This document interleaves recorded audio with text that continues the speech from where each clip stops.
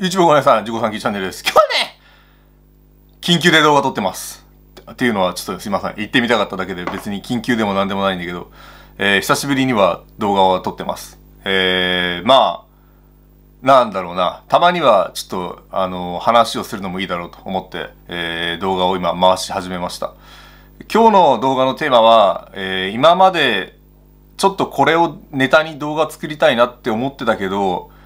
まあめんどくさくて作ってなかったことについて、あの、頭だけ触れていくというか、触りだけ話をしていくという、えーそんな日です。まあいろいろこう、なんていうか、あの、食洗機の話とかね、あの、ヨーグルトメーカーの話とか、新しく買ったテレビの話とか、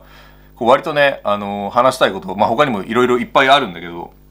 なかなか、あの、そういったあたりが、えー動画としてね、消化できてなかったんで、今日は、まあ、なんかそれぞれの話、たくさんある話の頭だけ、えー全部かっさらっていこうと思います。まあ、この動画は、だから結構長くなるんじゃないかな。多分ちょっと今日久しぶりにね、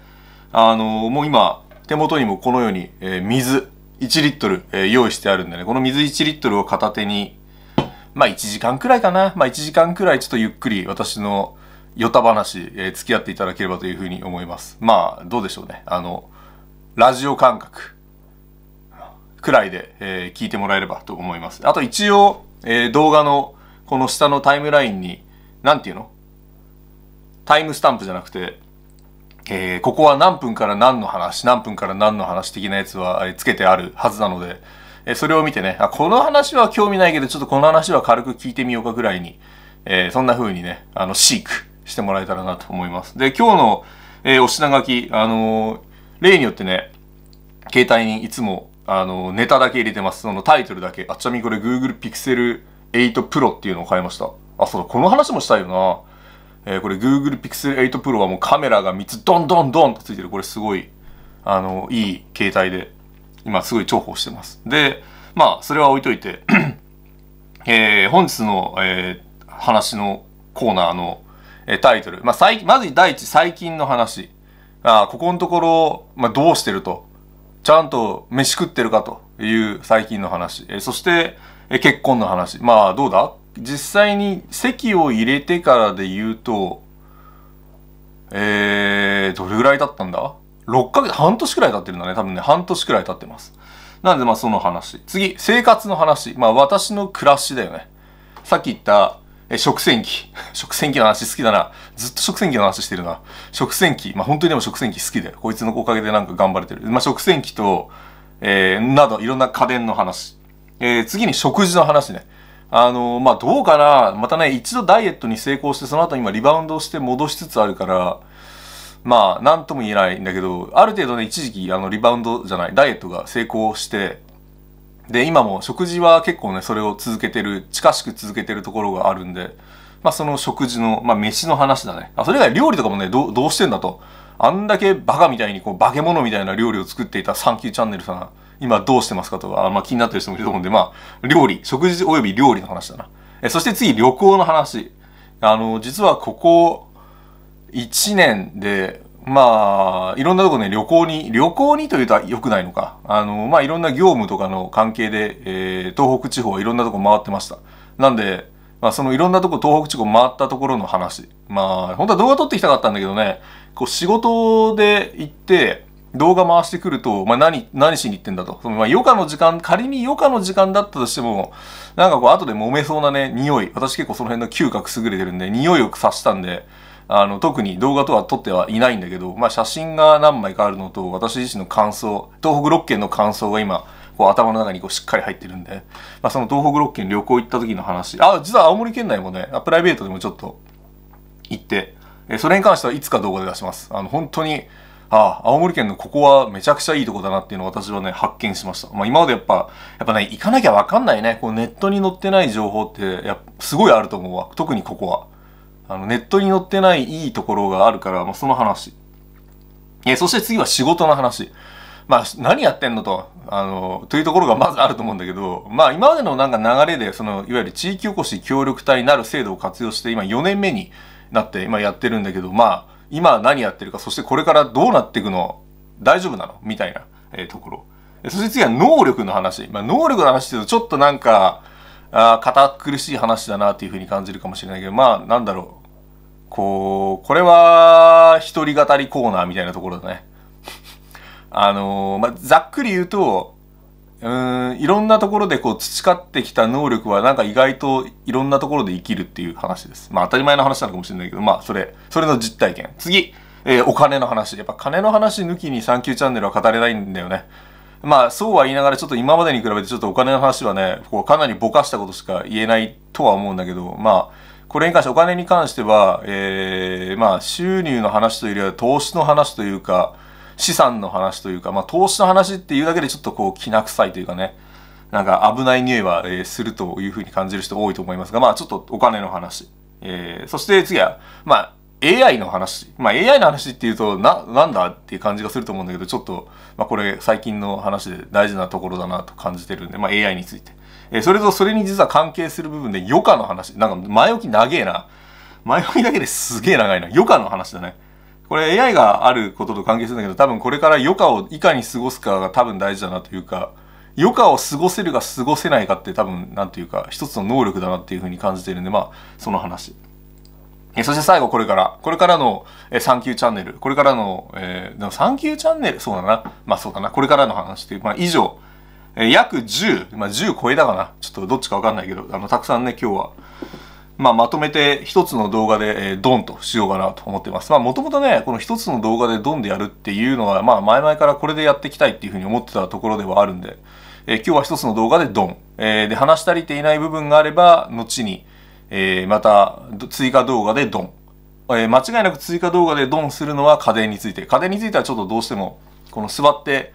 話してるだけっていうスタイルだとちょっと厳しいんでね、あの、編集等で、あの、必要な情報とか入れながら、えー、やっていくという、そんな、えー、予定でいますので、皆さん今から約1時間お付き合いよろしくお願いします。多分実際は1時間超えると思うけど、まあね、あの、久しぶりなんでね、久しぶりに帰ってきたらちょっと長いこといてもいいよな、みたいな感覚で、えー、聞いてもらえればというふうに思います。え、まずは、最近の話の前にちょっとまず水を一口。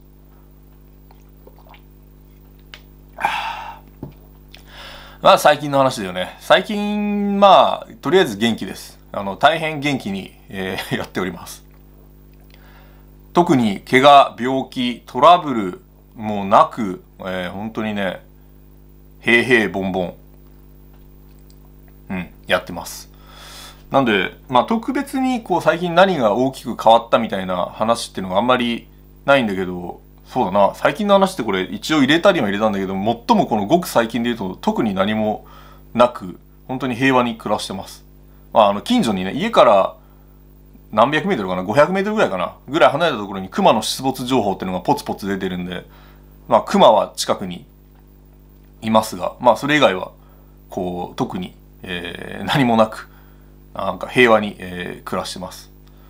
なんで、まあ、この、ここのところ更新がなかったのが、何かあったのかとかそういうことではなくですね、えー、平々ボンボン暮らしてます。ただ、あ、そうだな、最近の話で言うと、今、今ね、ここ数ヶ月で、そうだね、数ヶ月で一番の変化は、あのね、またね、最近ね、本を読むようになりました。あとね、テレビも見るようになった。そうだ、最近の話で言うとね、本とテレビ、あの、インプットの方がね、だいぶ、えー、増えてます。例えば、本で言うと、まあ、あの、中身はね、結構バーって結構読んじゃったり、一冊目本読み始めて数ページ、まあ10ページぐらいで、あとバーってめくって、あ、これは面白くねえわで置いちゃうこともあるんだけど、でも、今ね、1日1冊くらい、あの、普通の本を1日1冊くらいのペースで読んでます。まあ、それだけ、あの、暇があるというか、っていうのでもあるんだけど、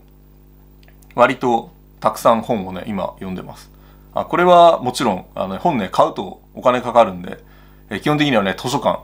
えー、青森県にはね、県立図書館というやつがあって、まあこれ多分どこの県もあるけど、まあ県立図書館で本を、あの、インターネット注文、インターネットでこうカタカタカタってやってパンってやると、あの、本を送ってくれて、で、それを読むっていうのと、あとは、あの、近くに大きな町でいうと、十和田市っていう、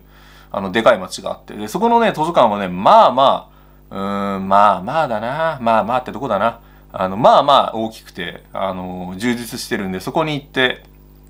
まあ主に新刊とかね、えー、を中心に借りたりしてます。で、そっちが限界マックス、十和田が限界マックス7冊、あ雑誌含む。雑誌含む7冊と、県立図書館の10冊、17冊をね、ほぼ、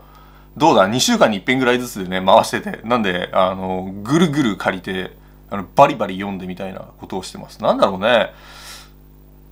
やっぱもともとそうだな。この自分自身のこのルーツ的なところをたどっていくとね昔からやっぱ本を読むのが好きだったしこう読めるようになってきた。最近これがね結構大きいと思う。あの一時期ね読書からこう遠ざかってた時期があったんだけど読書ねもう高校生の頃の集中力にはかなわないと思うけどあのね続かなくなるんだよね。これは本当にやっぱ老化なんだろうな。加齢だと思うけどこうずっとこうね読んでてもなんか続かない時あるよね。だんだん多分ね続かなくなってくると思うわ。多分これがあの老化集中力の低下体力の低下あなどなど。まあもろもろがあると思うけどあの最近ねまたねちょっと読めるようになってきて。だから本を結構読むようになってます。ね本の内容はまあなんか今やってる、まあ、業務に使えそうなこともあり、えー、あとは料理の本あり。やっぱ料理の本は大事だね。料理の本はよく読んじゃうな。料理の本ありまあなんか、うん、怪しい自己啓発的なやつあり。あとはなんかなんだろうな。不動産本当にただなんとなくタイトルで面白そうだなって借りたやつとかも多いから。まあ本当にオールジャンルで。小説はあんまり読んでないかな。小説は一冊あのー、春樹村上のなんとかって本を読んだわ。もうさっぱり忘れちゃった。あの図書館にこもるやつの話なんだけど。図書館の話を読みました。なんでまあそんな感じかな。うん。なんで、そういったね、本をたくさん、えー、読んでます。で、テレビもね、見るようになったのは、まあ、テレビを実は、こっからちょっと見えないけど、まあ、後々 追って紹介しようと思うんだけど、テレビもそうだ。半年じゃない。3ヶ月前。あ、いや、半年前ぐらいか。ぐらい前にね、1台買いました。まあ、ね、テレビあった方が、でかいやつあった方が多分見やすいだろうと思って買って、あのー、フルハイビジョンじゃない、まあ、4K だ。4K のテレビを買って。で、4K のテレビ買ったのに今コンテンツ、いわゆる動画とか映画とか、まだ 4K 対応してないのが結構いっぱいあるから、ちょっと一回 4K 見てみようと思って、あの、ネットフリックスのあの 4K 版っていう、だいたい月額2000円くらいで、まあ、ネットフリックスの動画、映画など見放題っていうサービスがあるんだけど、それ契約してみたらね、やっぱね、迫力あるね。やっぱもう、あの、これね、サバンナの八木さんっていう人、今俺一番、芸能人、芸人っていうくくりじゃない、芸能人のくくりの中で一番、あの、推してるのがサバンナの八木さんなんだけど、でもサバンナの八木さんも言ってたけど、サブスクができるんだったらもうそれは裕福でと変わらないだろうって言ったんだけど、まあちょっとそれは、まあ、八木さん最近新しく本出してるからね、その辺、あ、出してるというか、これから出すのかな。その中にも書いてあると思うけど、あの、なんか、本当2000円くらいあったらめっちゃ楽しめるなっていうのをね、最近感じてます。あの、まあ新しいテレビ自体はいくらだったかな ?11 万7000円ぐらいだった気がしますが、まあ、まあまあまあ、あのー、そういうふうにね、動画とか映画、えー、他は本、漫画アニメはあんまり見てないな。漫画アニメはちょっと抜けてるけど、最近はね、そういう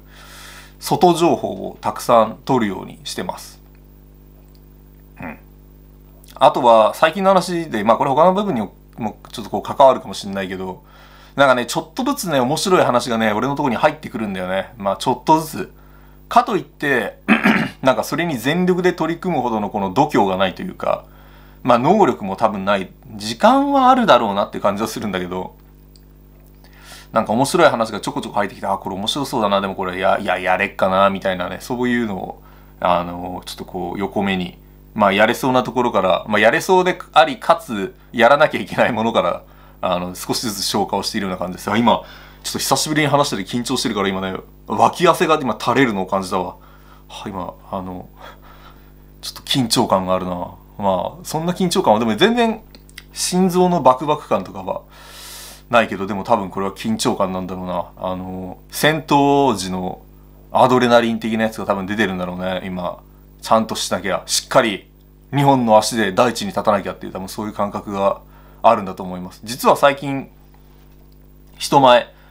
といっても、まあ、50人ぐらい少ない環境だったけど50人ぐらいの前であの15分わずか15分のなんかプレゼンをするっていうのがあっていやすごい緊張したね。久しぶりに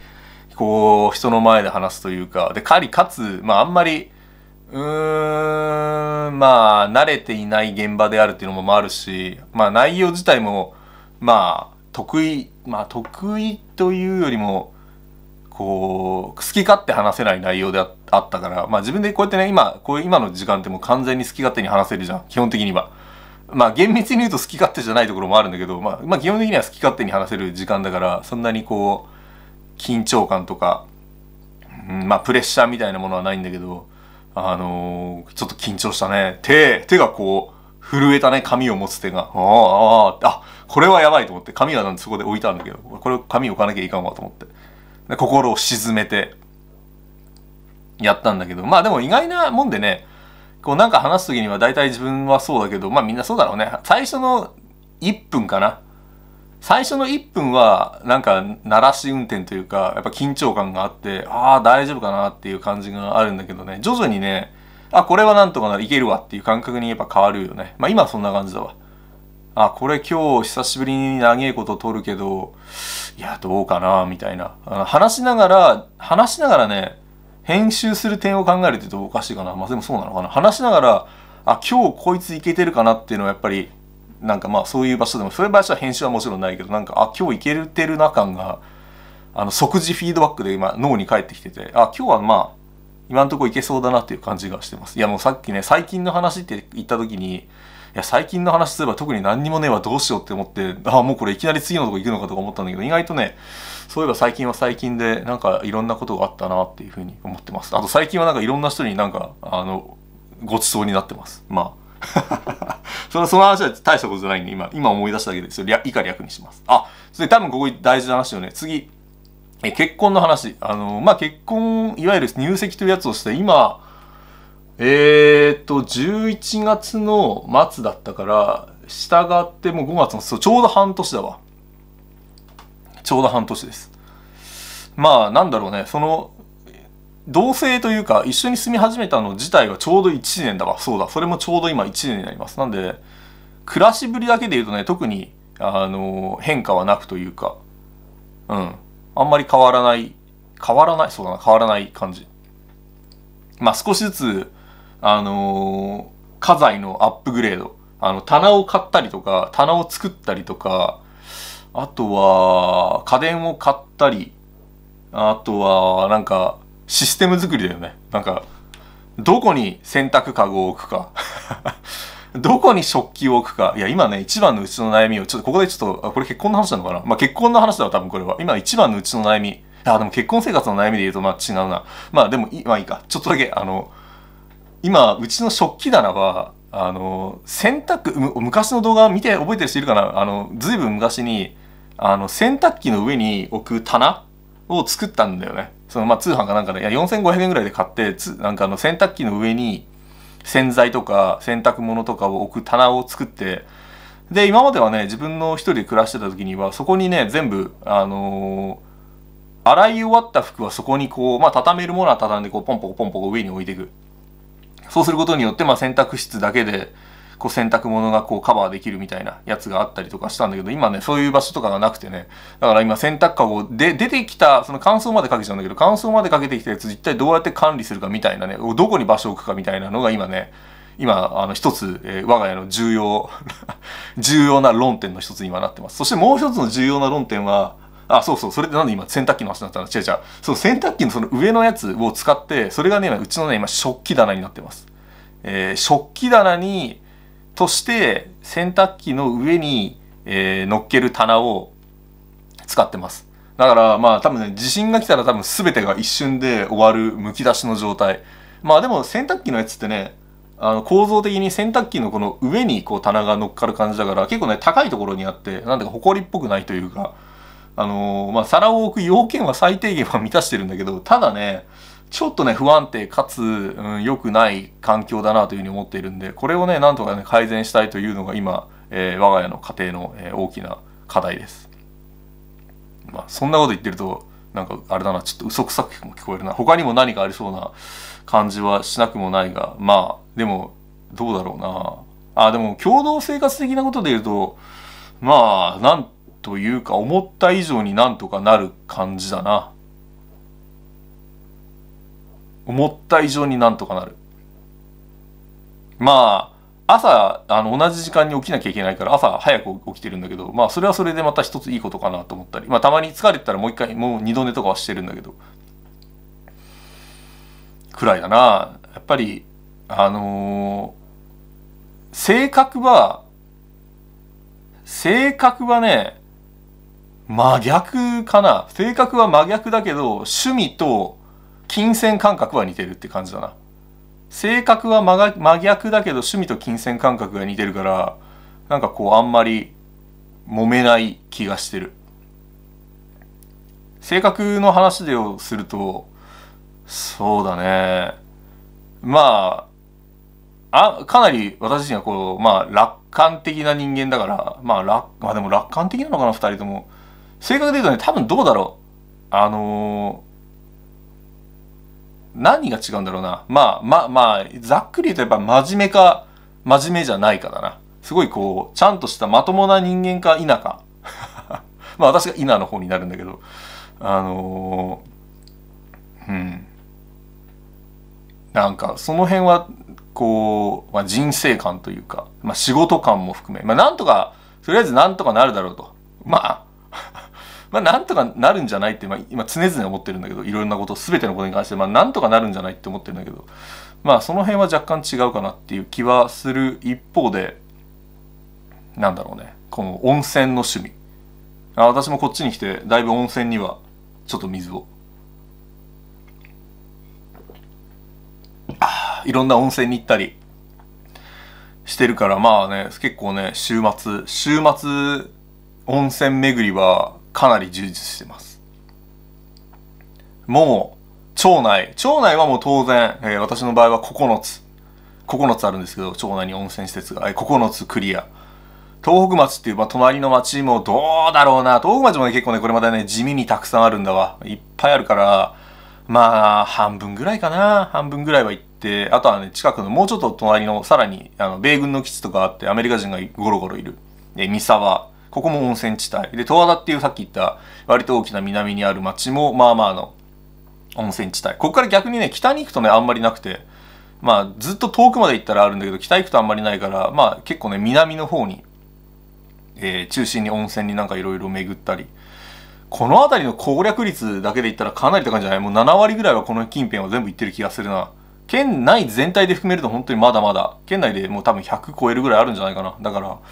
温泉攻略はできないけどね、主に温泉攻略。これを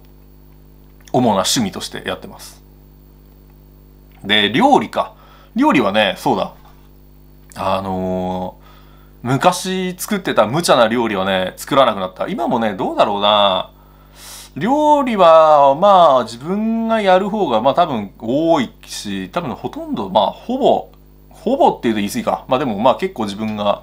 料理はやってて、大きな変化として、あのね、今までね、こう、料理の、自分のやる時の料理の、えー、基本は、たくさん作る。まずこれでしょ。大事なたくさん作る。たくさん作る、えー、刺激が強いものをたくさん入れる。刺激が強いものっていうのは、あ、今ごめんなさい、今。あの、あの、やめ、や、いや、やめとくわ。あの、今、あの、なんだっけ、F ワード。F ワードって言ってわかんのかな？でも、この言葉を出すと怒られるんだよな。まあ、いいや。あの、ともかく、えー、スパイスとか、あのー、辛いやつとかをいっぱい入れた飯をね、私自身がこうたくさん作るのが好きですごい、あのー、よくやってたんだけどね、それをね、えー、だいぶマイルドになりました。かなりマイルドな飯を作るようになったっていうのと、あとは一切れだよね。こう肉とか野菜は、やっぱゴロゴロしたのが王道だろうと。まあカレーしかり、肉じゃがしかり、おでんしかり。やっぱちょっとサイズが一つの一切れがでかいっていうのは、でかさこそうまさだみたいなところがやっぱり、あのー、あると思う。特にやっぱ男性は全員そう思ってんの。やっぱでかさこそうまさ。塊の大きさ。あ、まあ、げんこつハンバーグだよね。静岡でいうところの。静岡でいうところのげんこつハンバーグみたいに、やっぱりそう一つ大きくドンとあった方がいいっていうのが、やっぱこう思想としてあるわけ。発想としてね。だからそういうところで、でかさこそ強さでやってたんだけど、あの、やっぱね、口の大きさもやっぱり違うので、あの、そこはね、加減をするようにしました。最近はだから一口のサイズが小さくなってます。一口のサイズはかなり小さくなったんじゃないかな昔に比べてまあその分火の通りが良くなったりねあのメリットもあるんだけど結構ねその辺の生活スタイルの変化はあるかな、食もまあ比較的似てるのかな。比較的似てるよな。比較的似てる。けどあのやっぱね味噌汁だよね。俺あのね味噌汁は自分よりもその妻の妻のっていうとなんか緊張するな。妻の作ってる味噌汁の方がこううまい。と思うんだけどなんかね前あの白味噌多分関西で使われるような白味噌こっちも多分売ってると思うんだけど白味噌とうん普通の味噌のなんか合わせ味噌みたいなので味噌汁を作ってもらってあそれうまいなって思ったんだけど最近ねその白味噌も買ってないからあ今ちょうど味噌汁なくなるから味噌汁じゃない。今味噌がなくなるから次回はそれでやっていこうかな。なんか味噌汁いや他の料理はいや俺も負けてないぞと。えー、鶏の照り焼きしかり、えー、カレーしかり、うん、肉じゃがしかり、えー、鶏のじゃない。豚の生姜焼きしかり。あ昨日実は豚の生姜焼きあの作ったんだけどめちゃくちゃ美味しかったわ。あの豚の生姜焼きはいや絶対生姜のチューブじゃなくて本当の生姜を使うっていうのはまあまあね美味しく作りたいという強い気持ちがあれば多分そうすると思うんだけど今まであの生姜焼きの生姜ってなんかレシピにはね皮むけって書いてあったの。皮をまあ薄くこそぐというかこそぎ取れって書いてあったんだけどあのあんまりねそれね守ったことがなくて。というのはいや生姜は香りこそ命だろうと。香りのついてない生姜に一体何の意味があるんだと思ったんであの豚の生姜焼きの皮を取ることをせずに、えー、今までずっと生姜焼きを作っててなんか味おかしいなってずっと思ったんだよね。なんか味強すぎないっていうかなんか肉の味も何にもしないし玉ねぎの風味も完全に効いてるぞ。おかしいぞみたいに思ってたんだけどまあまあそこでねようやく昨日あのひらめいたというかああのもう一回レシピをこう見直した時にちゃんとそこは落としてくださいって書いてあったからちゃんとそれルール通りに守ってあの爪でさこうシャシャシャシャってその皮をあのそぎ落としてで絞ったじゃないわ。あのすりおろしてあの生姜焼きに入れたらめちゃくちゃ美味しくて。やっぱあれだよね。先人の言うことというかやっぱ人の言うことって本当にね聞くべきだよね。いや本当に思うわ。最近のねいや自分のマイテーマとなってるのは人の言うことを聞くべき。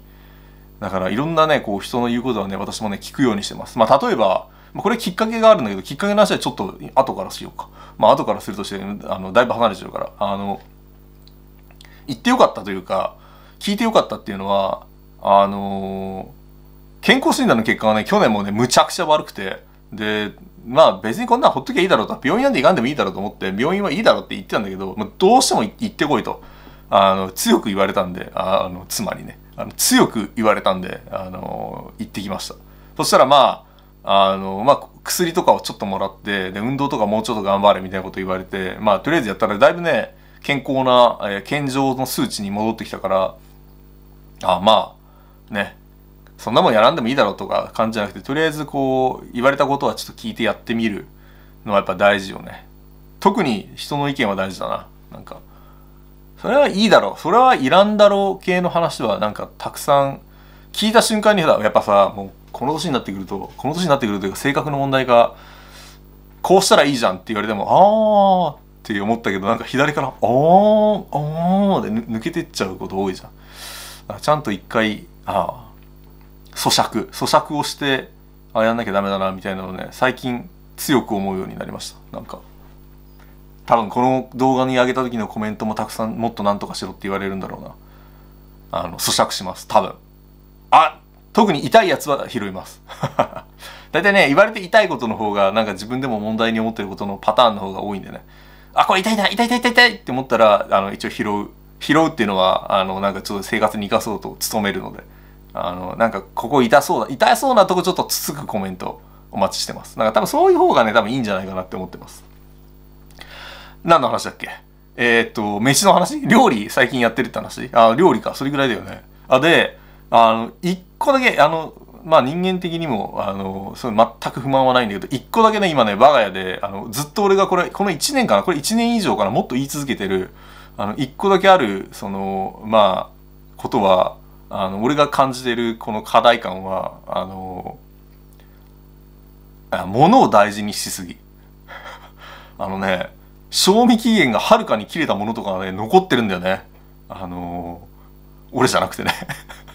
いや、賞味期限これ何年前 ?3 年前ですよみたいなね。結構ね、怪しいやつがね、結構ゴロゴロしてて、いやでもこれは缶詰だから食べられるみたいな、こうね、謎理論を言われて、いや、それはないんじゃないかなっていうね、話はよくしてます。これが、あれだな、一番、これも、まあでも、まあ衝突っていう言葉をもし使うのであれば、他では揉めたことないけど、これだけは衝突だね。これだけ意見が完全にこう、真っ二つに食い違ってるのは、これだけ、これだけ。あの、例えば、なんとかのふりかけみたいなやつが、これ2018年みたいな賞味期限のやつがあって、乾燥してるから大丈夫みたいなこれ謎理論をぶつけられると、いや、さすがにまずいんじゃないかっていう話をする。けど、まあ、あのー、まあ大丈夫だというふうに言われたら特にね、こうまあ、特に人のものを勝手に捨てるっていうのは良くない行為だと思うんで、まあ場所的にも置けるから置いてあるけど、それぐらいかな。今ね、これは大丈夫かっていう。しかも俺が残しておくのはわかるじゃん。なんというか。あの、胃袋強そうじゃん。俺は胃袋強そうだし、別になんかと、ちょっとした病気かかっても、割と復旧早いタイプだと思うの。まあでもだいぶ前免疫落ちてきてるから、まあそんなサクッといきなりね、バターン倒れた、はい、一日寝たら復活みたいにはなんないかもしれないけど、それでも比較的ね、多分全人類の中で見たら、どうだろうな、こう、あるじゃん。よくある、こう偏差の、この、なんつうか波みたいな方は多分上位上位25%ぐらいに入るぐらいの、あの、なんだろう、その、腹の強さ。あ、でもインドの人強そうだな。まあいいや。あの、上位には入ると思うの。日本人の中だったら、まあ屈指。屈指の強さだと思うけど、そうじゃないんでね。明らかにね、こう、すぐなんか食べたら腹壊しそうな感じなのに、なんか賞味期限の切れのものがね、たくさん残ってるの。これぐらい、これかな。これに関してはね、あの、たまに。あの、これは本当に大丈夫かな？みたいな話はするぐらいかな。あまあ、それぐらいかな。そういう話じゃないのかな。まあ、なんで、それ以外は特に変わらず、うん、なんとか、えー、毎日日々を過ごして生きているような、えー、そんな感じです。ああ、次生活の話か。でもその前にさ、人の話の話聞いた方がいいって話ちょっとしていいですか？ちょっとこれ、これ最近俺の中で一番大事な話だと思ってて、ちょっとその前に水を。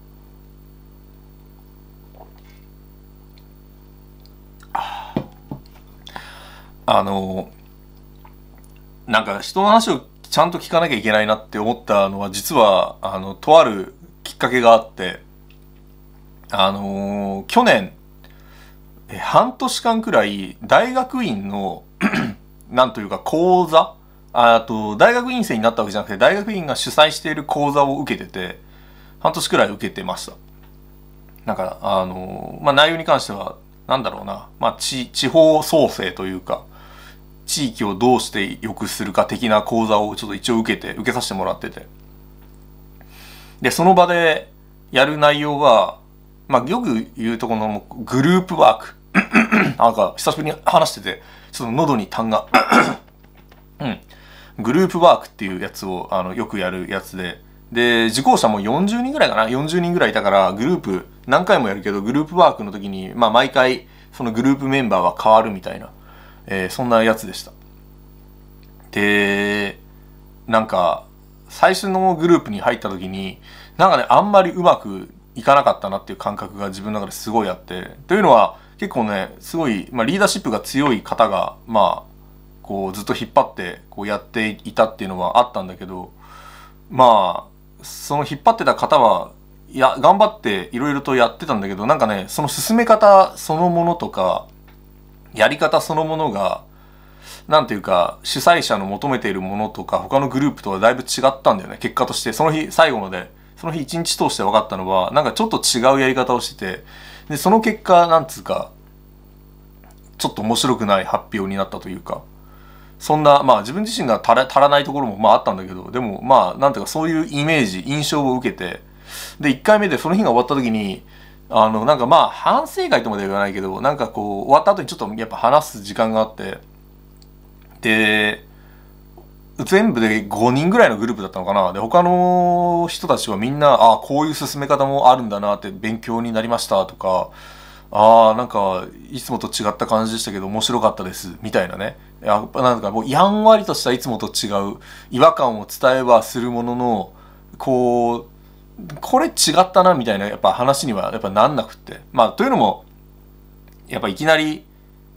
初対面で会った人にこれ違ったなみたいなこと言うとやっぱ言いづらいしあやっぱなんなんていうか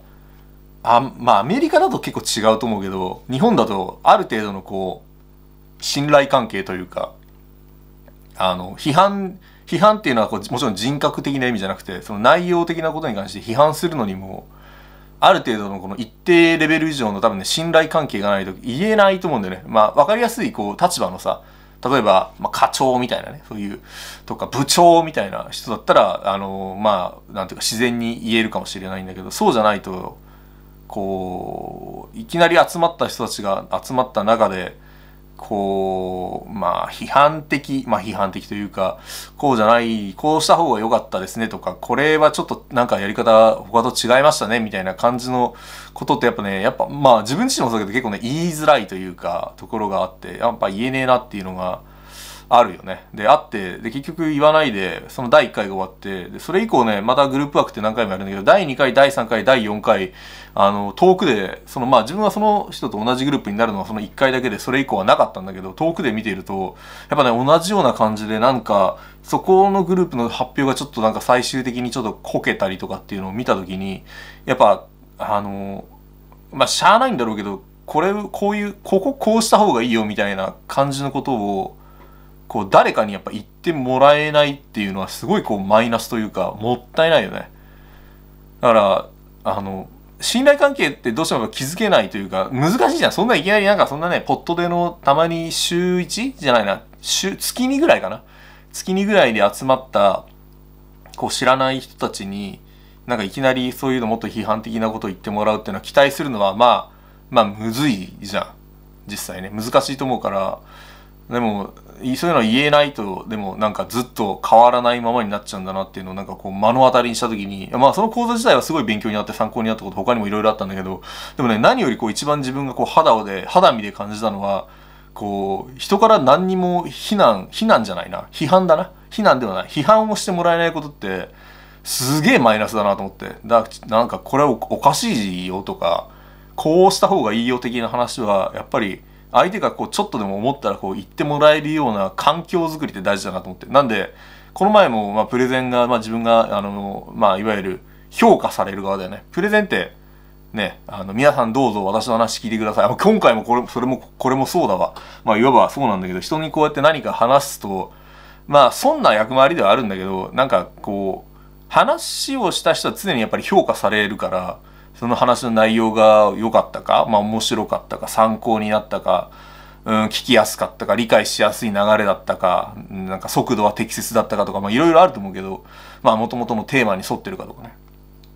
まああるけど、こう、やっぱ誰かに、誰が頭にこう評価される側だから、そういう風になった時にはね、こう、あのー、直接、まあその日はすごい、まあ50人ぐらい小さな集まりだったから、で、その後、まあ懇親会的なやつとかあったからね、そこで、こういろんな人にこう話を聞くわけよ。どどうでした？なんか今日のやつは？って言ったらまあもうさっきと同じような話だけどそのやっぱいきなりね初対面で会った人にいや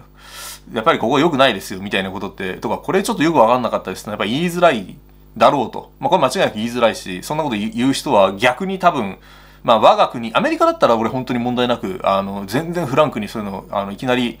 これはよくわかんない。違うと俺は思うっていうのからガツンと来る人いるんだけど、まあ、少なくとも日本でそれやるのは多分バッドマナーになるんだろうなっていう気がするからあんまいないけどと思ってね。言ってみんなにこういろいろ聞いたの。それどうですかってまあどうですかくらいから入ってああ大体の人がまあうん、お世辞で盛られてるのが、まあ、3割増しから5割増しだとしても、まあまあ、あ、それなりに良かったですよ、みたいな、すごく参考になるところあったと思いますよ、くらいの感じだったんだよね。でも、やっぱそれで終わったら、こう、やっぱ意味ないじゃん。こう、やっぱ批判的な目でこう見てもらうっていうのはすごい大事だから、あの、どうですか？なんか分かりにくいとことか、なんかこう、うーん、なんかおかしいっていうか、微妙なとことかありましたか？そうだね、微妙なところくらいかな。もう少し柔らかめの、感じで聞いたんだけど、えっ、ー、と、その日に、ちなみにその日に私が、まあ、プレゼンをした場にいた人は、ほぼ初対面の人かな？ほぼ初対面。9割方が初対面ぐらいの人で、で、話した人、その後にフィードバック聞いたのも20人ぐらいかな？いろんな人とどうでしたか？っていう話を聞いても、やっぱりね、基本はね、もういい話しか出てこない。もう、あの、すごい分かりやすかった、良かったですとか、まあちょっとあとは内容に触れるところだからちょっと、それ具体的なことは言えないけど、まあざっくり言うと、あ、良かったですっていう話でほぼ終始した。やっぱり、そうなっちゃうよな。難しいよな、こう。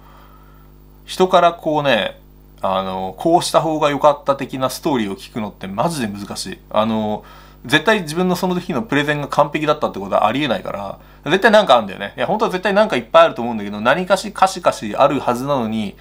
やっぱね、出してもらうのって難しいわな。あの、その辺出してもらえるような、立ち回りっていうのかな多分いきなり信頼関係っていうのはまあ難しいと思うから、もうちょっとなんかストレートじゃなくて柔らかい聞き方があったか、まあもしくは、まあアンケートとか紙で書いてたから、まああれに関して実はなんかすげえもっといっぱいいろんな、あの、批判的な意見があるのかもしれないけど、まあちょっとまだ結果は見てないから何とも言えないんだけど、うん、その辺はわかんないけど、あの、でも、なんかやっぱりね、あのー、人からのこう、いいフィードバック、いいフィードバックっていうのはあの批判的な内容のことだと思うんだけど、いいフィードバックがね、なかなかね、得られないね。難しいなって感じたわ。あの、あの日の、その、まあ人の失敗、失敗って言うと良くないかもしれないけど、なんか、あの日の、なんつうか、あのー、誰かから、こう、意見をもらわないでいることの問題点をすごい感じたから、それをちょっと絶対に自分は同じことはしないようにと思って、その日は立ち振る舞ったし、まあ普段からもね、これどうですかっていう話をいろんな人にね、これどう、どう思いますかみたいなことを聞くようにしてるんだけど、なかなかね、難しいなと感じてます。ただ、えー、その日唯一すごいいろんな意見を言ってくれたのが、やっぱりね、あのー、えー、上の、まあ、職位の人、まあやっぱ偉い人になってくるとね、やっぱ普段からそういうのを、まあ言い慣れてるから、まあいい意味で言い慣れてるから、あの、例えばもっと具体例の話はもう少し長くてもよかったねとか、ああ、なるほどというか、その辺の資料は結構よくできてたからもっとそっちの話した方が良かったんじゃないかなとか、あの、うちでは普段こういうの使ってないけど、まあ多分ここではいい発表だったかな。うちだったらもうちょっとこうしたなとか、あまあもちろん、うちっていうのはその人のいる組織だったらこうしてたけど、まあこれぐらいのやつでも、まあ叩き台としては十分ありだなとか、なんかね、いろんなこう、やっぱり話が聞けるから、やっぱね、偉い人の話、まあ直接ね、偉い人と話せるとも限らないし、話す時間はなかなか大体ないのが、あの、決まってるんだけど、でも、やっぱ偉い人の話は、こう積極的に拾うといいなっていうのは一つ、一つ学びを得ました、私は。まあ、前回の体験で。なんで、あの、なんかできる限りね、あの、これはやべえぞって話は聞いた方がいいなと思ってます。なのでね、それがね、でもね、一番自分にとってこう、ぐさりとくるものに関してはなんか無視したくなるところもあるんでね、これが難しいんだな。まあ、なんか耳の痛い話でやっぱ耳塞ぎたくなるんだなっていうのはね、感じるんだけど、あまあ、そういうことも、そういうこともありますが、でも、まあでも基本はやっぱり聞かにはいかんなと思ってます。あ、以上です。以上が、えー、人の話を聞いた方がいい話。ちょっとなんか関係ないけど、最近俺の中で一番こう熱のある話題で、熱のある話題でかつ、あの今の生活に役立ってる感じがしてるんでね、あの批判的なこと、ことこそこうなんかちょっと聞かには、なんかずっと変わんねえなっていうのを感じたんで。あ続きまして、生活の話。ああ、ずいぶん楽な話だわ。生活の話は楽だわ。やっぱ結婚の話とか、やっぱ人の、やっぱね、他人、他人じゃないか。これ、ここの部分カットした方がいいかもしれんな。やっぱ人の話、ああ、そうだな。人の話ってやっぱり、するときはやっぱ緊張感が走るよね。誰か、いや、俺の話はいいんだよ。俺は俺の話で、俺で完結してで終わりだからいいんだけど、やっぱ人の話をするのはちょっと緊張感走るわ。まあ、生活の話。生活はもうね、何度も繰り返しますが、もう我が家の家電七不思議、七、なんだろう、三大なんたら家電に入ってもいい、食洗機、ヨーグルトメーカー、テレビ、この三つか。まあ、これもさっきもちょこちょこ話したけど、この話で言うとだいぶはしょるか。あのとにかく、あの、いろんな新しい家電グッズを買って、えー、大体後悔してません。買ったのは、テレビの一応、そうか、品番ぐらいは、アクオス、シャープのね、テレビを買いました。シャープの、あのー、買ったテレビは、えー、っとね、黒が綺麗に見えるやつ。なんていうの？プラズマとか、なんとか液晶じゃなくて、ななんか黒がすごい綺麗に見えるテレビ。で、なんか一時期その系統のテレビは、えー、画面焼け？画面焼けをすぐ起こしちゃって、なんか長いこと使えないっていう風に言われたんだけど、なんかね、もう最近もそういう技術、そういうのも技術的になんか解消されているらしく、なんか画面焼けのリスクもそんなにもうないよってことだったんで買いました。えー、ちなみに買った方法は、えー、っとね、なんかあのー、一番安く買おうと思って、多分一番安く買えたんじゃないかな。11万1700円だったと思う。確か。1700円だったかな。多分そんなもんだと思うんだけど、あ、でもそうか、それ品番言わないとそうか、それがお得かどうかわかんないのか。ちょっと、でも、ちょっとだけ遠くにあるんだよな。あの、シャープの43型 ?41 型か43型かどっちかのなんか、やつなんだけど、えー、買って、あのー、ちょうどそのタイミングで、なんかね、LINE と Yahoo のアカウント統合をしてくださいみたいなやつあったじゃん。まあ今も、まあちょこちょこあるけど、あの、それで、あの、Yahoo プレミアム、旧 Yahoo プレミアムかな？まあ、でも Yahoo プレミアムか、に入ると、なんかポイントがどうの？みたいなやつがあって、まあ無料でお試しで入ったらどうの？ってやつ、よくあるやつがあって、で、それに入ると、なんかいくら分安く買える？みたいな、いうキャンペーンを見つけたんで、それに飛びついて買いました。なんで、多分、すごい安く買えたんじゃないかなと思ってます。ずっとこう、あの、何？最近の更新のジェスチャーってこれで合ってんのかな？こう、上から下にこうスワイプしてね。ずっと金があのいくらあ変わるかとか一番安いショップはどこだっていうのを探して買いました。やっぱ楽しいよな。あのお金をねまあ増やすのも楽しいんだけどでも増やすのと安いものを見つけるのどっちが楽しいかって言ったらでも安いものを見つける方が楽しいんじゃないかな。あまあと言ってもまあ増やすっつっても増やせてる量がたかが知れてるからそう感じる。いやでも安いものもなんか安いものもまあたかが知れてるか。まあ言ってみれば、まあ11万か13万かの違いみたいな感じだと思うわ。その日多分セーブできたのは、そなんか5のつく日と10の日は安いみたいなそういう雰囲気のセールで買ったから、まあそれで買って安いわって言って買って買ってます。買って買いました。で、テレビうちはなんかそんな広くないから、最初はなんかこんな狭い部屋にこのテレビ大丈夫かって思ったんだけど、なんか意外とね、目が慣れてきて、あ、なんか今はちょうどいい感じで見てます。その目疲れやすくなったかな？どうかな？今、今もちょっとなんか今目に疲れを若干感じてます。え、今日は実は、えー、何日 ?5 月の、あ、5月じゃない、そうか、カレンダー変えなきゃな。6月の1日土曜日です。なんで、今日朝からずっと寝てました。うん。今お昼を少し回った。もう1時か。早いな。まあ1時ぐらいになりました。あ、そうそう、そのうち、あの、カッコウが鳴きます。今、うちはね、カッコウが鳴くようになった。あ、今でもこのマイク今使ってるから聞こえるかな？あの、大きな時計を買って、最近はね、あの、鳩時計を買いました。鳩時計だけど鳩じゃないと思うんだよね。でも、格好だと思うんだよね。まあ、もうちょっとしたら多分泣くと思うけど、それは、あの、結婚祝いということでなんかもらったりしたもので、えー、今、そういったものがね、我が家の家財を支えてます。で、ヨーグルトメーカーの話ずっとして、ちょ、なんか入り口しかしてないんだけど、ヨーグルトメーカーっていうのがあって、なんか、いわゆる低温調理器具だと思うんだけど、低温調理器具と同じで、決まった温度で、えー、固定できるっていうやつがあるんだけど、まあ、それでヨーグルトを作ってます。えー、だから、それでどうだろうね。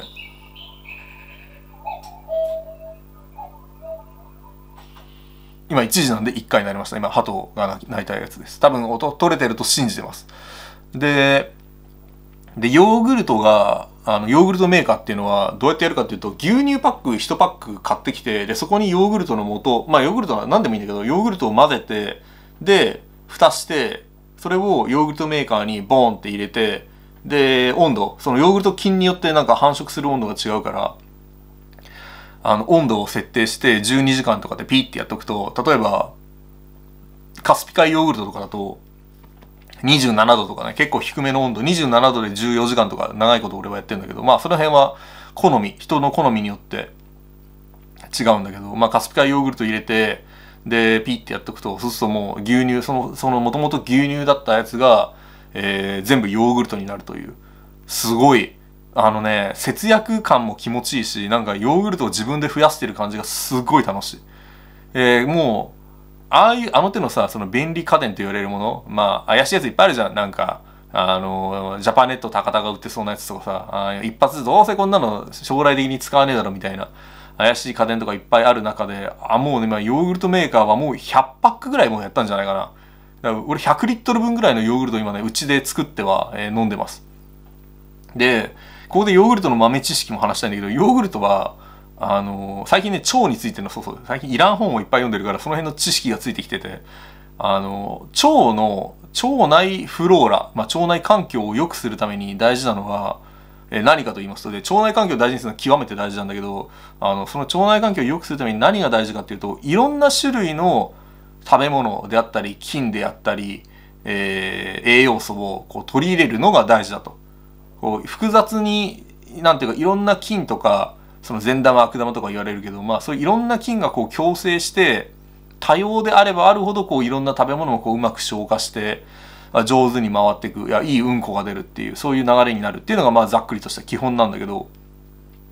でその時にまあヨーグルトっていうのはもともとね乳酸菌でその腸の腸内改善とか言われてすごい助けになるっていうものは事実ではあるんだけど。で今はね今こう今までやってきてるのは実はあの藤子。あのー、昆布の会社昆布の会社なのかな？藤子っていう会社があって藤子が出しているヨーグルトメーカーヨーグルト菌の菌の種っていうのがこう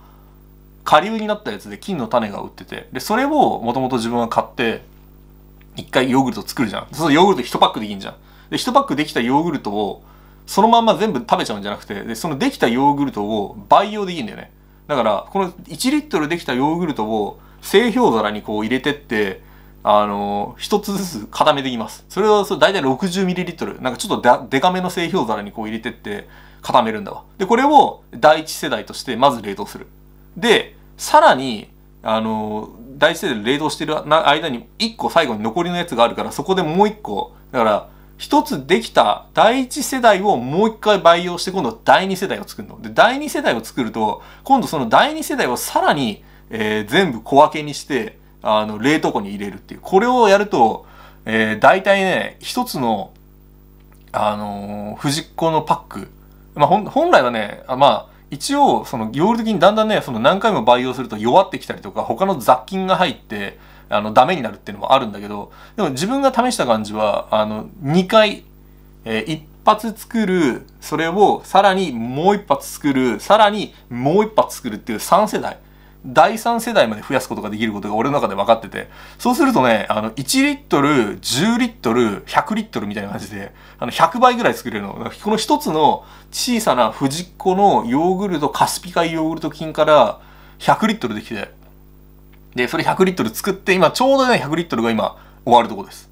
で、ここで大事なことは、そのさっきの話に若干戻るんだけど、その、ようやく戻れるわ。そのヨーグルト菌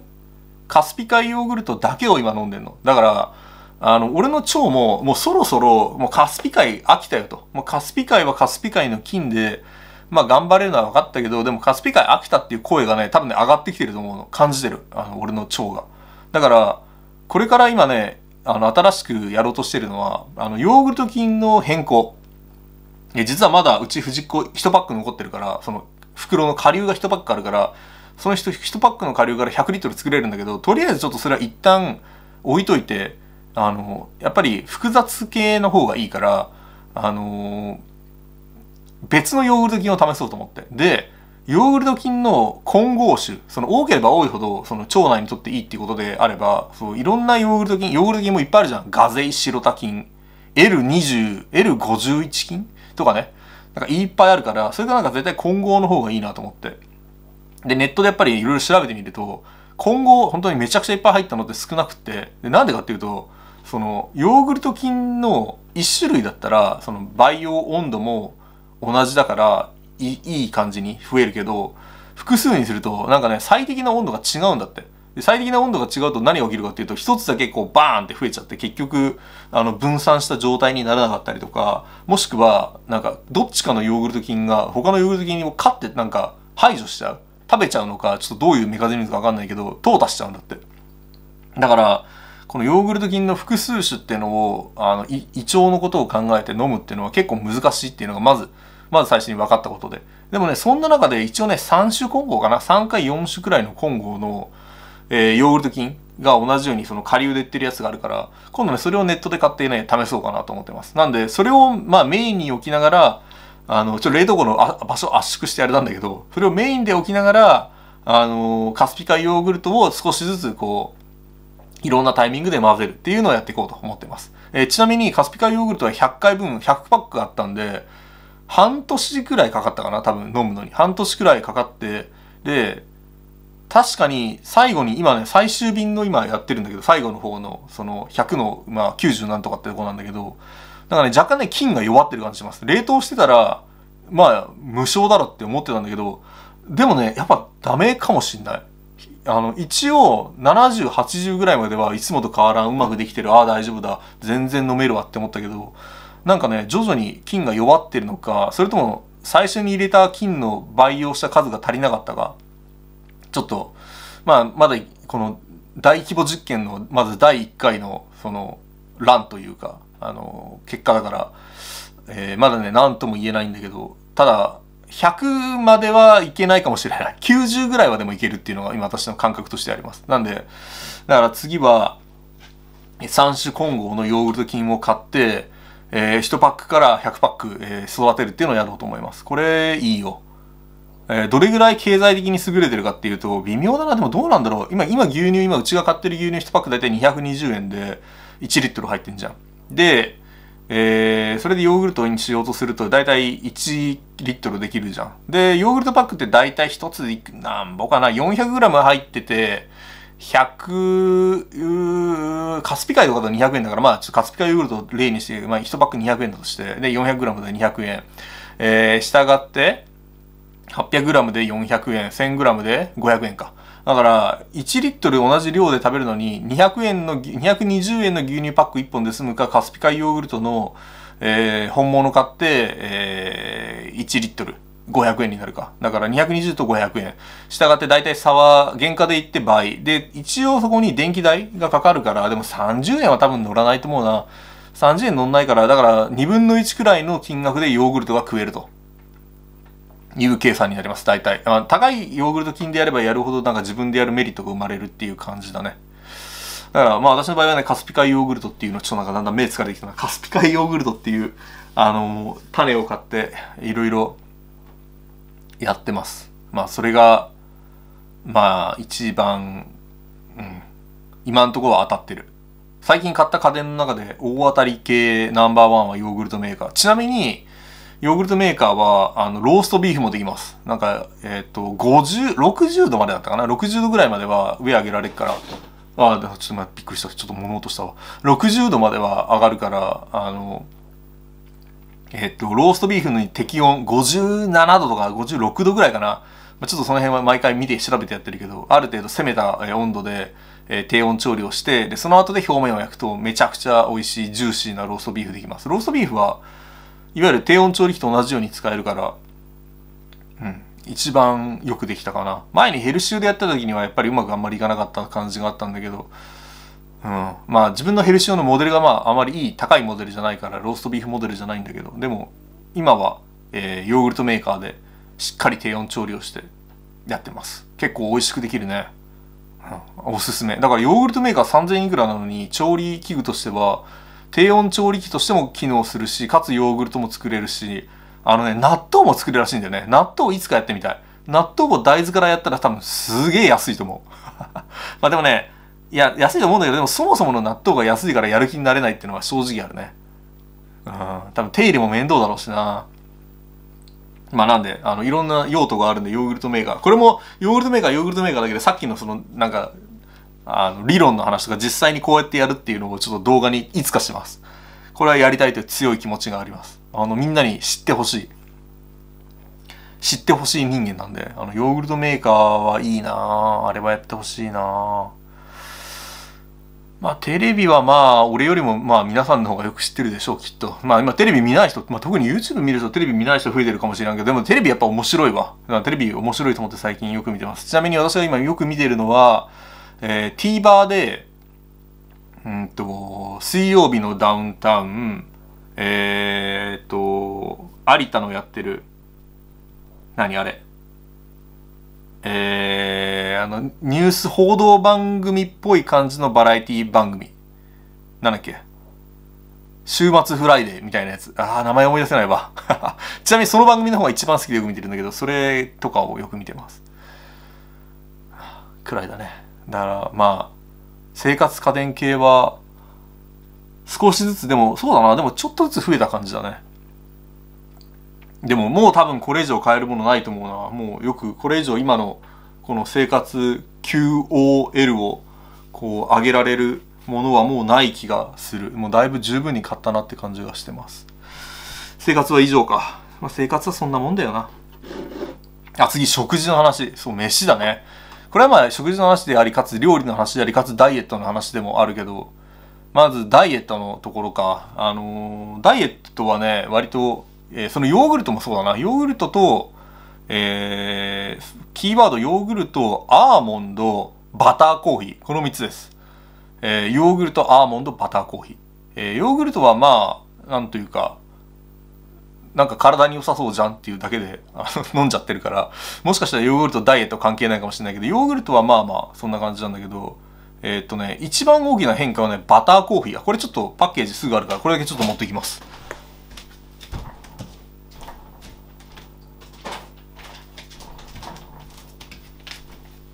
よえー、バターコーヒーっていうのはこの MCT コーヒークリームっていう、えー、これを、えー、買ってます。これは何かというと、まあ、なんだ、中鎖脂肪酸っていうの ?MCT コーヒー。なんか、あの、脂肪の中でも体にいいやつみたいなものだというふうにざっくり理解してるんだけど、これと、朝、朝ごはんとして食べてるのは、あの、これのコーヒー。で、コーヒーは正直味全くわかんなくて、まあ多分美味しいやつは美味しいのかもしれないんだけど、別に何でもいいと思ってるから、あの、一番安い、えー、ネスレみたいな、ネスカフェ、どうちゃらこうちゃらみたいなとか、まあ適当に試した、えー、コーヒーを買って飲んでます。が、それに必ずこの MCT コーヒークリーマーっていうのを入れて、えー、朝飲んでます。で、実はこれはもう、なんか2週遅れぐらいの技術らしくて、あの、アメリカの、えー、IT 企業で働く人たちが、まあ、どうだろう、10年前、15年前ぐらいになんか流行ったものらしいんだけど、でもね、これと、これを入れたコーヒーと、まあ砂糖とかもちろん入れないで、これ入れたコーヒーと、朝はタンパク質として、えー、卵、ゆで卵とかか、もしくは、これ言うと、お前どうなってんだって言われるかもしれないけど、納豆。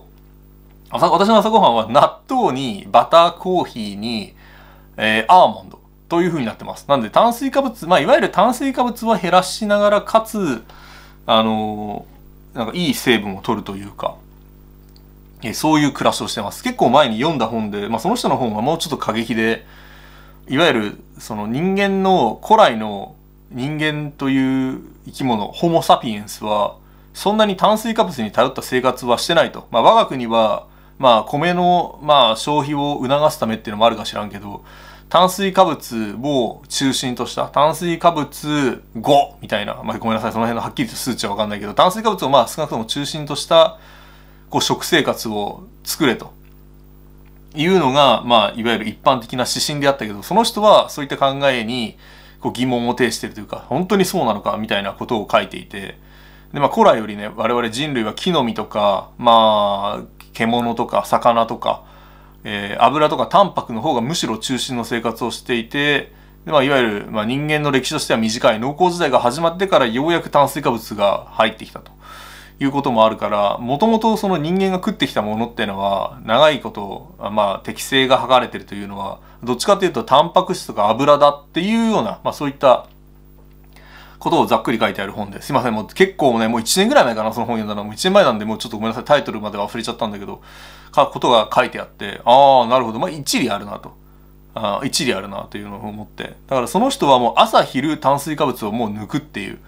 朝も昼も炭水化物はいらないから、で、夜にちょっと食べる。ご飯一膳いかないぐらいかな。みたいな、そういうのを推奨してた。ただね、そこまではやると多分、あのね、人生がつまんなくなるだろうと思って、いや、米の飯食えない人生に果たして意味があるか、体重を減らして、あの、まあ、健康リスクを下げ、えー、まあ、健康障害リスクというか、を下げ、えー、体型を整えることで得られるものと、米を食べられなくて失うもののこの大きさを比べたらば米食えなかったらどうすんのと。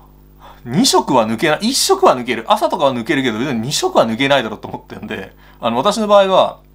まあその人の理論だとちゃんと2食分ぐらい抜かないとそういうなんていうのいわゆるケトンダイエットとかっていうのがあってなんか油を燃やす体を作るっていうそういうものを推奨してるからまあケトンになるためにはそのケトン体を生み出すためにはもっと長い時間あの炭水化物を食わなくてもっとなんつうかそういう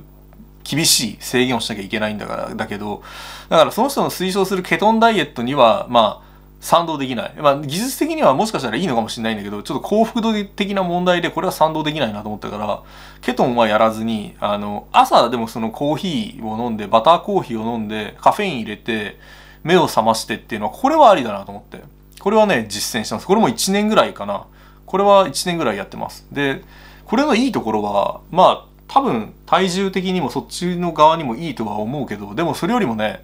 あの、朝眠くなんない。これやっぱすごいな。やっぱカフェインって、でも俺もともとね、カフェインすごい効く体質で、あの、午後1時過ぎ以降は、もうね、コーヒーダメなんだよね。コーヒーこの時間に飲んじゃうとね、夜眠れなくなるんだよね。その夜眠れなかった日に、あ、あなん、なんか今日眠れないなっていう時たまにあって、後で思い返すと大体、あの、コーヒーを飲んでるケースが多くて。だからそれぐらいコーヒー、えー、およびお茶、あの、多いお茶、濃い味とか、結構好きで飲んでるけど、でも午前中までにしてます。カフェインがね、効いちゃうんだよな。だから朝ね、コーヒーと、コーヒークリームと、で、アーモンドをこう、適当にこうガサッとシパッて食べて、で、アーモンドももちろんあの、ネット通販で買う、あの、1キロのでかい袋で買うんで、別にそこまでむちゃくちゃ高いわけじゃないんで、まあ、アーモンドを買って、で、食べてるような感じかな。で、朝は、その、まあ、そこに納豆が加わる。で、納豆に関しては、あの、俺自身も間違った組み合わせだと思ってるし、あの、美味しいとも別に特に思ってないけど、でもまあ、納豆自体は美味しいから食べてます。え、これに関しては間違ってるということは私も分かってますが、でもね、毎日ね、ゆで卵を作るのがね、めんどくさい。ゆで卵メーカーやった方がいいかな。でね、ゆで卵ね、殻むくのがだりいんだよな。なんかゆで卵パンってできれば、なんかあんのかなもしかしてそういうの、今は。ゆで卵を茹で茹でから皮まで綺麗に剥けるマンがいたら毎朝ゆで卵にしてもいいなゆで卵にごま塩ごま塩って言ってなんかあの妻にびっくりされましたがゆで卵はごま塩だろまあマヨネーズつけてもうまいんだけどでもごま塩で。あ塩味塩だけで食ってたかな。まあでも俺はごま塩の方が好きだけどまあまあともかく。あのなんで私の最近の朝の一発目の食生活を、えー、大きく変えました。でこれは多分1年続けられてるってことを考えれば、まあまあまあ、悪くない。で、体重に関しては多分これはいいと思うから、まあ、飯としてはこれは続けてます。昼は結構適当だな。最近はもう本当に昼からなんかもうめんどくせえからっつって、買い物で行ってスーパーで買ってきたものポンを買ってポンを食ってでってことが多い。夜は割と作るかな。夜は3日に2回ぐらいかな。多すぎるかな。4日に3回は違うな。3日に2回。うん、いや、5日に2回、いや、5日に3回かな。1週間、そうだね。月から金の間に3回ぐらい作ってるような、大体そんなイメージだな。うん。米中心の料理、やってます。あ、でも生姜焼き美味しくできたな。生姜焼きまたやろう。なんでまあ飯に関しては大体そういう風にしてね制限をしてます。で腹減った時にちょっと小腹空いたなって時にはあのアーモンド食べてます。アーモンドだったら太んないだろうという。でもアーモンドカロリーめちゃくちゃ高いんだけど、でも、なんか、そのカロリーイコール太るかって言ったらそうじゃないみたいなこともその人の本に書いてありました。吸収効率の問題だったかな。いわゆるカロリーと、その全部それを全てうまく吸収して効率よくその脂肪にできるかっていうのはまた別物みたいな話だったんで、それを、そこをいいとこだけ ここは美味しいなっていうところだけ信じて、えー、アーモンドは買って適当に食べて、で、しのいでます。空腹を。でも、最近たまにまたアイスとか食べるようになったんで、ちょっとまた太って戻りつつあるな。一時期より、一時期は今よりも多分さらに4キロぐらい痩せてたから、まあ、あと本当はここから10キロぐらい痩せてようやく適正体重。まあこの話も何回もしてて、何回もお前その話してるなって言われるんだけど、でもここからさらに10キロを、えー、長期ゴールとして設定してます。まあ遠いよな、10キロってな。10キロは遠いわ。まあそんなかな、料理、料理というか食事に関しては。料理もまあだから何何でもやってるし、うーん、そうだね。むちゃくちゃ辛いのとかはやんなくなったとかぐらいで。まああとは変わらんなああ、でもあと面白いね、食品買ったんだわ。この前、この前じゃないか、今年の正月に、私実はね、徳島、あの、ナルトの徳島に行ってきました。徳島に行った時に、えっ、ー、とね、わかめ買ってね、わかめ美味しかったわ。なんか炭の、炭で加工したわかめ。な、なんて言うんだろう。炭で乾かしたというか、かわかめがあって。で、食べる時むちゃくちゃめんどくさくて、一回、あの、ボールとザルに入れて炭を全てきれいに落としてから食べなきゃいけないっていう激めんどくさわかめなんだけど、味はうまい。量もめちゃくちゃ美味し、多いし、コスパもいい。ただめんどくさい。あれ、もしかして、まあもし、関西圏の人だったら知ってんのかな徳島のなんか、そこの現地のなんか古くからある製法で加工したわかめって書いてあったけど、あのわかめ良かったね。めんどくさいことを除けば100点だと思う。ただめんどくさい。本当にめんどくさい。でも美味しかったです。なので、わかめ、そういえば美味しかったな。食事はだから味噌汁とかもまあよく作る。ご飯はまあ炊飯器も変わらない。相変わらずヘルシオは活躍してる。ってところかな。最近はカレーもよくやるし、あ、でもね、カレーのスパイスを買って今自分でやったりしてるけど、でも、やっぱ店のような味にやっぱどうやってもならんな、カレーもな。でもカレーもね、俺今ね、一個ね、ちょっとね、ちょっと思うところがあって、カレーも、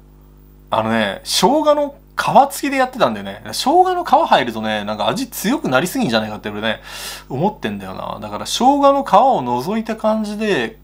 もう一回こちょっとカレー作ってみようかな。なんかね、生姜の味が効きすぎて、なんか生姜ってすごいんだよね。ニンニクよりもやっぱ生姜って強いと思う。あの、香りで言うと。だから、特に皮ね。その辺、あのー、やり直して、ちょっとカレーもう一回作りたいな。家でタンドリーチキンとかやってんだけど、やっぱね、店の味にどうやっても近づかん。どうしたらいいかね。一回ちょっとカレー屋でバイトでもしようかなとか本気で思ってるわ。なんかタンドリーチキンの焼き方とカレーの作り方ちょっと技を盗んで帰りたい。どこかで。どこかちょっと技を盗ませてくれる人募集中です。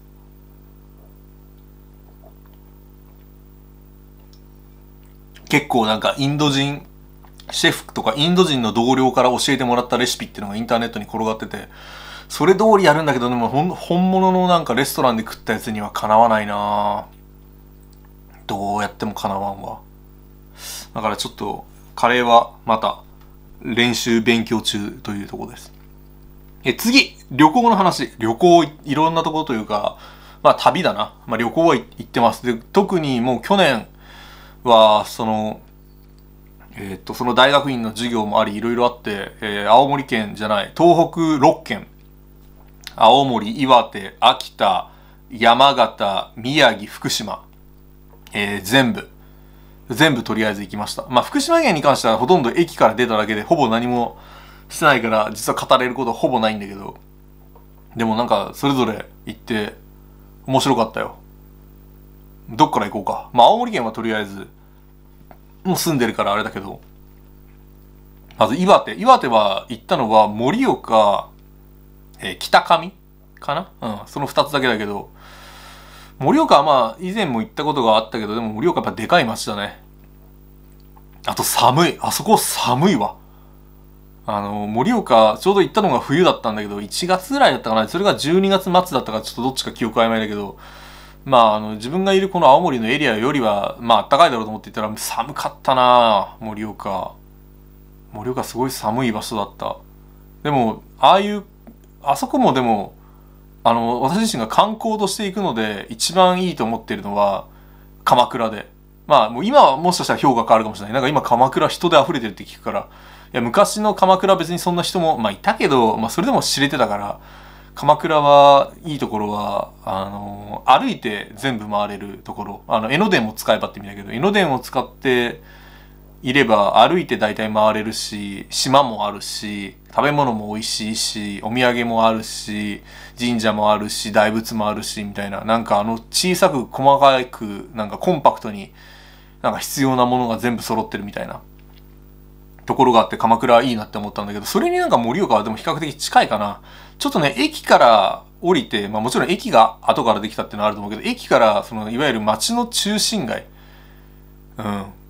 なんか繁華街までは若干歩くっていうところを除けば、なんか盛岡は、あ、いいなって感じがする。そこだけで、なんかじっくり遊べる街だよな、盛岡市。前に、そうか、動画でもちょろっと撮って、あ、そうか、と初日編までは上げたんだな。二日目編がまだ上げてないわ。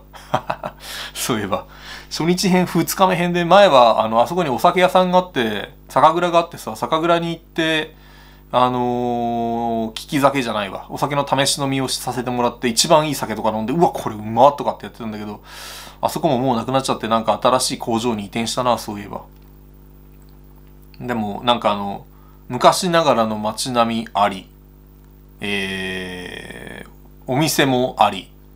で、じゃじゃ麺あり。でも、じゃじゃ麺衝撃的な量だったな。あそこまで行ったら、なんかあの、やっぱりそれっぽいものちょっとは食べようと思って、まあ居酒屋の飲み会もまあいいんだけど、まあそうじゃなくてやっぱり、盛岡っぽいものといえば、えー、じゃじゃ麺。わんこそばはなんかもう今ほとんど絶滅危惧だって聞きました。わんこそばやってる店は今2つって言ったかな確か。公式になんかやってるって言える場所は。だからわんこそばは食ってないけど、でもじゃじゃ麺っていうのがあって、まあなんだろうな、味噌、味噌ニンニク、ひき肉ベースの麺なんかな。まあじゃじゃ麺ってやつがあって、それがすごい美味しくって。で、小皿、中皿、大皿みたいな感じのメニューで書いてあって、で、グラム数とかまあ読まないでもういいだろ、こんなん大体中だろうと思って中で頼んだら恐ろしい量出てきて、もう俺がまあ昔に比べて食えなくなったのもあるけど、中皿でなんか結構えぐい量だったな。ちなみに行った店は、あの、パイロン。白龍って書いた、白い龍って書いたパイロンって店なんだけど、パイロンのなんか中皿みたいなやつ、量多かったな。パンチ効いてたわ。あれ食べてなんかもう腹いっぱいでちょっと、あの、久しぶりになんかあの、あの血糖値上がりすぎて眠り、なんか眠りに気絶しそうになった。あだから、まあ量多くていいのはいいんだけど、でもちゃんと 説明読んで言ってのは小皿にすればよかった。すげえ量多いな。でも味は美味しかった。でも、でも味が好きなのはあそこじゃなくて、そうじゃないとこにある盛岡、まあ動画で確かちょっと出したような気がするけど、あっちのなんか、夜はバー兼じゃじゃ麺屋みたいなとこなんだけど、あそこの方がうまかったな。個人的にはあそこが美味しかったけど、まあまあま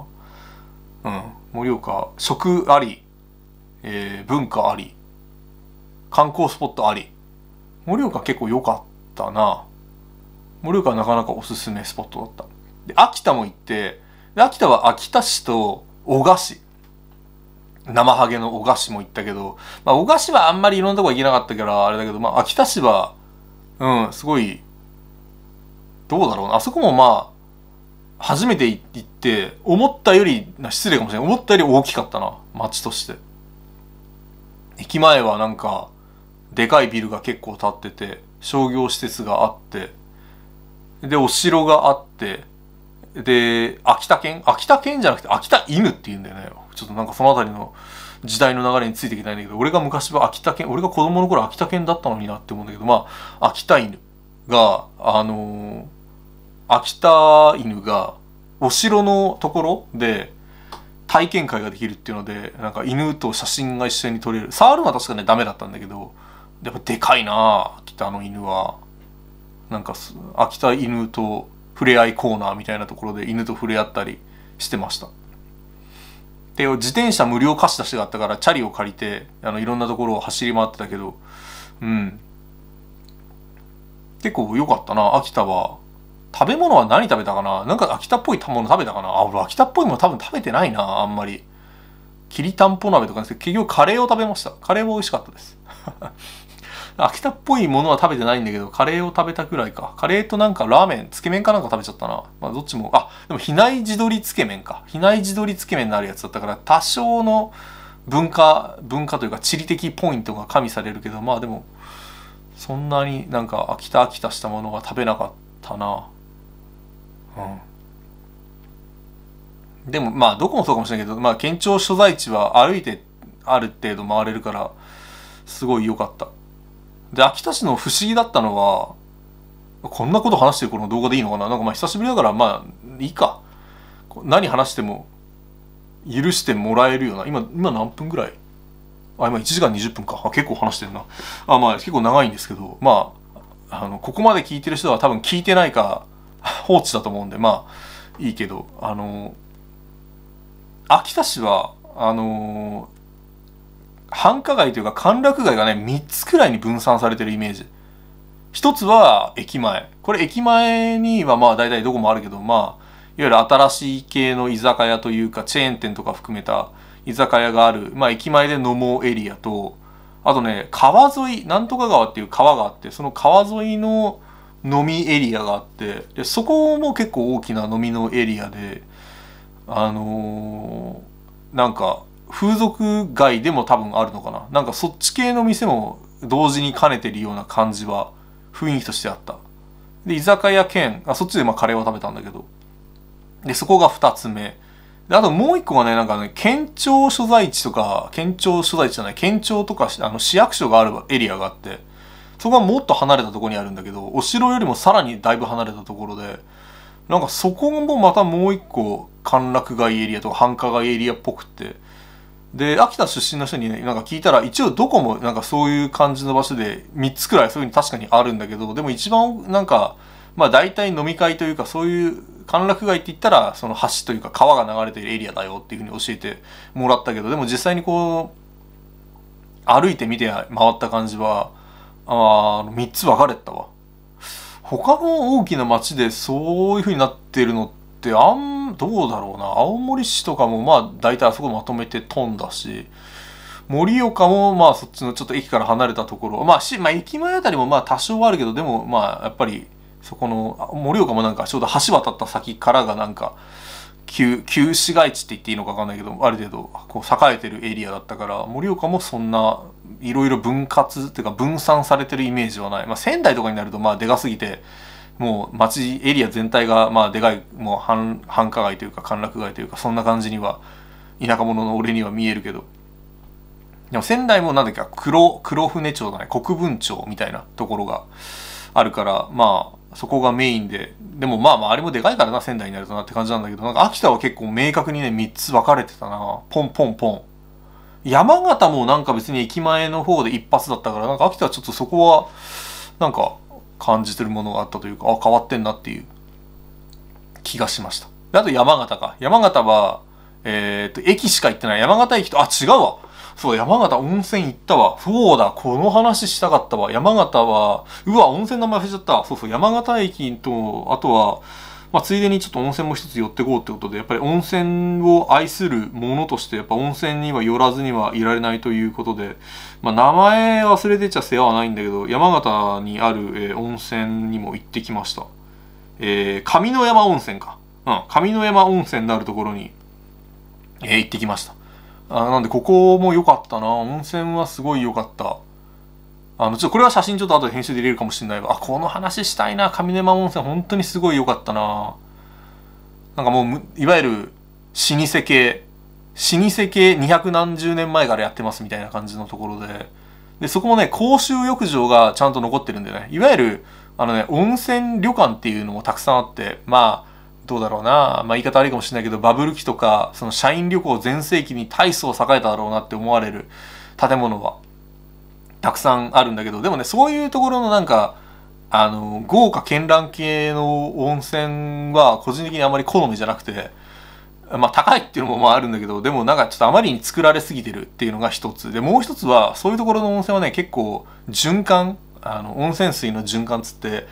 源泉かけ流しっていうのがこうもうお湯が常にこうジャバジャバ出ては流れ落ちてそのまま排水溝に流れていくみたいななんかその源泉かけ流しと言われるやつがやはりもう温泉好きかつまあなんだろうな俺はなんていうかそういう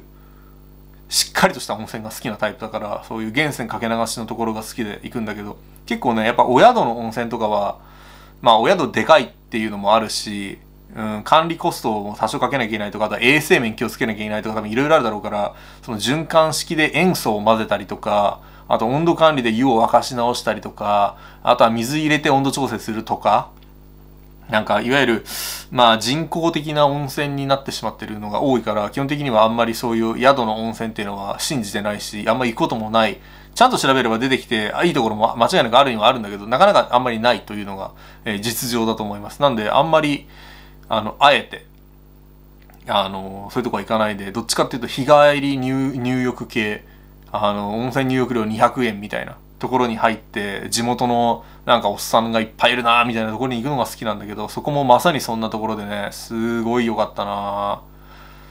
入浴料200円とあとはあの、シャワー利用券っていうのを買わなきゃいけないの。シャワーを使うための権利を買うんだけど、それがちょっと面白い。なんかこれでかい札。これ多分入れるわ、編集で。でかい札を買って、で、それに鍵がついてんだよね。その鍵がある人だけがシャワーを使えるっていう。で、シャワーは実際のその水だからお金も向こうもかかるから、シャワーは利用料金を取りますっていうスタンスなんだけど、でもね、俺は初めて行ったところで知らないし、シャワー使わないとかどうすんだと思ってシャワー利用券買ったけど、シャワー利用券買ってる人は誰もいませんでした。あの、やっぱシャワー利用券っていうのは、なんかあの、こう知らない人が買って、使って買ってるもので、じゃあ他の人シャワーなしでどうやって体洗ってんだって思ったら、その風呂、多分昔ながら系だよね。その風呂の浴槽から、このたらい、えー、ケロリンだらいでこう、ザッパー取っても頭バッシャーかけて、もう、なるほど、こうやるんだと。まあ何事も勉強だと思って、技が買うってことは多分買わなくていいっていうシステムだろうなってのは、まあ多少は想像はついたけど、でも確かにシャワー券いくらだったかな ?50 円か100円だったかな？そんなもんだったから、まあとりあえず買えばいいやと思って買ったんだけど、もうね、やっぱね、地元の人はやっぱみんなこうやって、あバッシャーンってやるんだなと思って。ああいうこう文化体験というか、はあはあと思って。よかったわ。そこの温泉も素晴らしかったね。ちょうどそこに来ている、まあ老夫婦。まあ老夫婦って言ったら、ちょっと失礼になるかもわかんない。まあでも老夫婦の人が実はその入り口のそのなんていうかのれんというかガラガラっていったところでそこで2人で話してる人がいて俺と同じぐらいのタイミングでそこに入ったんだけどうーんどうしようかっつってやっぱりねそのめちゃくちゃ綺麗なわけじゃないんだよね見た目的にもね。すげえ綺麗かって言ったら清潔感100点かって言ったらやっぱなんかちょっと違う。まあ別にせ、まあ、清潔感は100点か。いや違うな。見た感じだけでちょっと清潔感で言ったら多分100点はつけられないと思うわ。多分パッと見て、うん、なんかちょっと違うかもしれないっていうふうに思ったんだと思うんだけど、その夫婦は、あの、なんだ、えっ、ー、と、ちょっと、あの、ここは私たち向きじゃないみたいな。ここってやっぱ結局お湯、いいのお湯だけでしょ、多分。つって帰ってったね。いやーと思った。俺はもうもったいない。ここ、お湯だけというか、温泉はお湯だけのために入るものだろうって思ってるところが多少あるから、まあ一部ね、本当になんかちょっと、あの、あの、ローカル感溢れすぎる温泉、危険な温泉もある、あるし、俺は苦手なんだけど、そう行き過ぎると俺もさすがに苦手なんだけど、でもまあそういうわけでは全然なくて、まあ清潔感もあるし、あの、地元感もあるし、すげえいいとこだと思ったんだけど、やっぱり一般一般ちょっと温泉好きとか一般観光客には多分まあ向いてないんだろうな。まあ地元のなんかおっちゃんがいっぱい来てる場所ですごい良かった。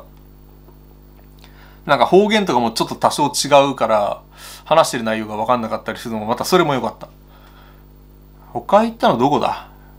えー、っと、山形県は米沢か。米沢は実は新卒で入ったばっかで21人の時に1回行ってるからなんか久しぶりに来たなっていう感じではあったけど、うん、米沢も良かったね。米沢でもどうだったかな？米沢はなんかあんまりちょっと回る時間もなかったかな。あ、でもそこも一応温泉は一つ行ったけど、うん。なんか山形県温泉多くてちょっと好感度高いわ。また温泉を込みで行く旅行に行きたいな。ただやっぱりどうしても東北エリアだったら絶対そうだと思うけど車なしだとなんか観光きついだろうから。多分ね車なしで回るのは無理だよな。無理だな。車なしで回るのは無理だからその辺がめんどくさいよね。車の運転楽しいっちゃ楽しいんだけどだんだんめんどくさい時あるから。なんでまあ山形は山形でまたなんか行ったらいいなと思います。で福島はなんかちょっとしたあのイベントで行っただけだから、駅ととあるそのスポットしか行ってないんで、ちょっと何もすいません、言えないです。一応行ったっていう。福島はちょっと寒かったっていうだけです。思ったより南にあるのに寒いなという印象。まあ、宮城はもう、個人で旅行でも行ったし、まあ、でかい町だなということぐらいしかないな。仙台は他はなんか、あ、でも仙台でかれたか食べたカレー屋がうまかった。てか、俺多分どこ行ってもカレーばっか食べてるから、カレーうまかったなっていうくらい。そんなとこだね。あと、そうか、県内の旅行で良かったのが、あの、タッピ岬。あの、青森県の、この、どっちか？まあ、動画で見てる画面的に反対になるんだけど、この左上、北西側にあるタッピ岬になるところまで、えー、行ってきました。ここは良かったね。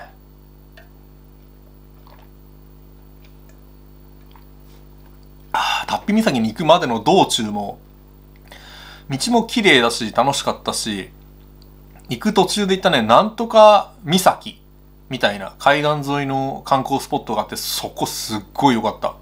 というのは何が良かったかというと、まあ一つは、あの、イルカが見える。あの、陸地からイルカが、こう、頑張れば見える。あの、こう、頭、これ。あの、背びれ、パシャパシャやるやつ見えるんだよな。あれ、すごい良かった。何岬だったかな？今出せる、後で編集で入れるって言って調べると、なんか編集する方が多分めんどくさいから、今ちょっとこの場で、えー、調べて入れるけど、うんとね、道の駅平出じゃないわ。あ、高野崎。高野崎という、えー、ところ。多分海水浴も多分できるんだけど、高野崎なる、えー、ところはね、本当に景色100点、イルカ100点、で、あともう一個はウニ100点。あの、初めて見たウニを、あの、あんなにたくさん山ほどゴロゴロしてるウニを見たのが初めてで、高野崎の海岸下まで降りていけるんだけど、ウニがね、もう山ほどいた。いや、こら、もう本当ね、至るところにその密漁禁止の看板立ってたけど、いや、これはすごいなと思って。ウニがいっぱいいたな。こう上から、そのなん、なんとか先の先にはなんか、橋があって。で、橋の上からこうやって下こうやって見るともうウニがもうね、うじゃうじゃしてる。すっごい良かった。なんか、ウニがこんなにいるんだ。あと、ウニって動くんだって当たり前なんだけど、ウニがちゃんと移動しているところが見られたのがちょっと感動した。あんなトゲトゲなのにどうやって動くんだみたいなあるじゃん。足ないのに。あんのかな？え、ないよね。ウニどうやって、な、でもよくわからん謎の力でちゃんとウニが動いてるっていうのが見られた時に、ああ、来てよかったなって ウニ見ただけでなんか感動した。あんな近くでウニ見られるんだと思って。あの、絶対に、あの、ウニの、なんだ、密漁しないようにしてください。本当になんか、あ、でもちゃんと守られてるというか、みんなルール守ってちゃんとやってんだなって感じがしたわ。しっかり山ほどいたから。パッと見てこの岩場に 10, 10個ぐらい転がってるみたいな、そんな、そんなぐらいでいた。まあ今シーズンっていうのもあるんだろうな。そうだよね。ちょっと遅いのかな。なんかウニ、ウニの改良というか解禁？そのいわゆるちゃんと漁業権持った人たちのやつは5月のゴールデンウィークとかって言ったような気がするからもうちょっと時間は経ってるけどでもあ行ったの俺ゴールデンウィークだっけ？あそうだゴールデンウィークだわ。そうだ本当にじゃあ本当に旬というかシーズンのシーズンもど真ん中だ。行ったのゴールデンウィークだ。ああ。そうだ。だからそこ良かったわ。そこが多分ねあの一番良かったな。そこからまあ今このチャンネル青森の人も見てくれてるから多分大体わかると思うけど、えー、その七戸のこの町からてんてけてけてけてんてんてんで、あの、青森市まで行って、青森市を抜けて、で、そこからさらに北上していって、